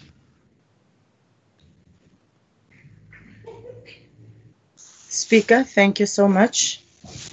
I think um, it was mentioned, and it's also stated here in the in the in the agenda that this item was not even supposed to have been here for us to discuss it. Um, because even the IT the IT and finance is saying that it must go back. Even the administration is saying it must go uh, that moet oorstaan.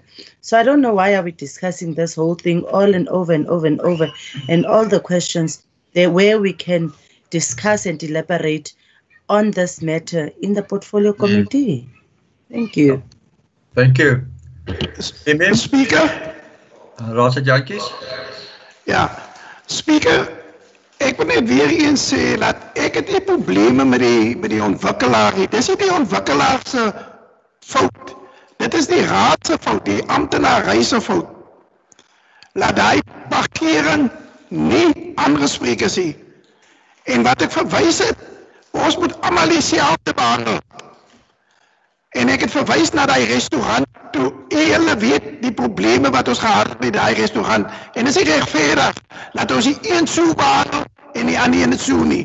Dit is my probleem. So ek steur my nie wat die burgemeester sê wat 'n aanmerkings hy maak nie. Ek het gesê daar's 'n slang in die gras en ek volstaan daarbey. Raadsit Burger, jou hand is op. Dankie Raadsit Joutjies. Raadsit Burger. Nee, my hand is nie op nie. Hy wys op. Goed, daar's hy. Goed, hierdie hierdie aangeleentheid, soos ons sê, gaan nou terugverwys word na die wijkskomitee toe. Dan die volgende punt en MM. Ek dink die MM het gesê hy moet dit reg gaan loop.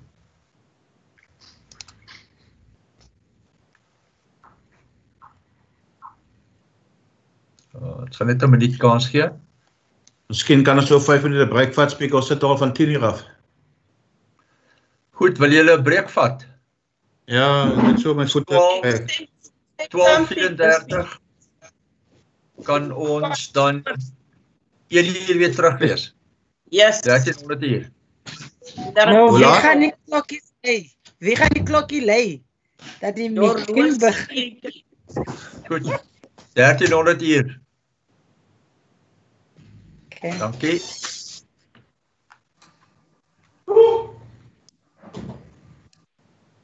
Kyk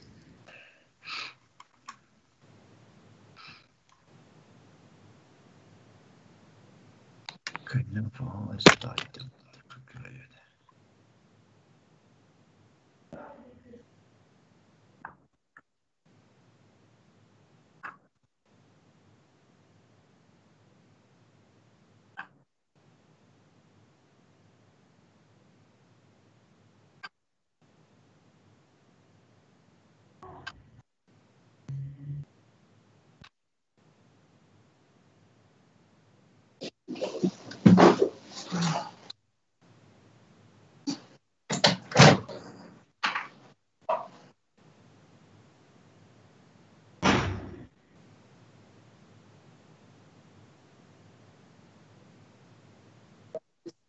give me the internal dimension for, for, with the uh,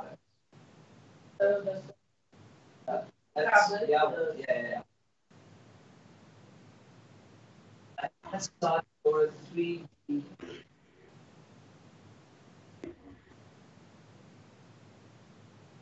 That sliding door, make a three panel sliding door and not a four. Yes, change it to a four that everything can go.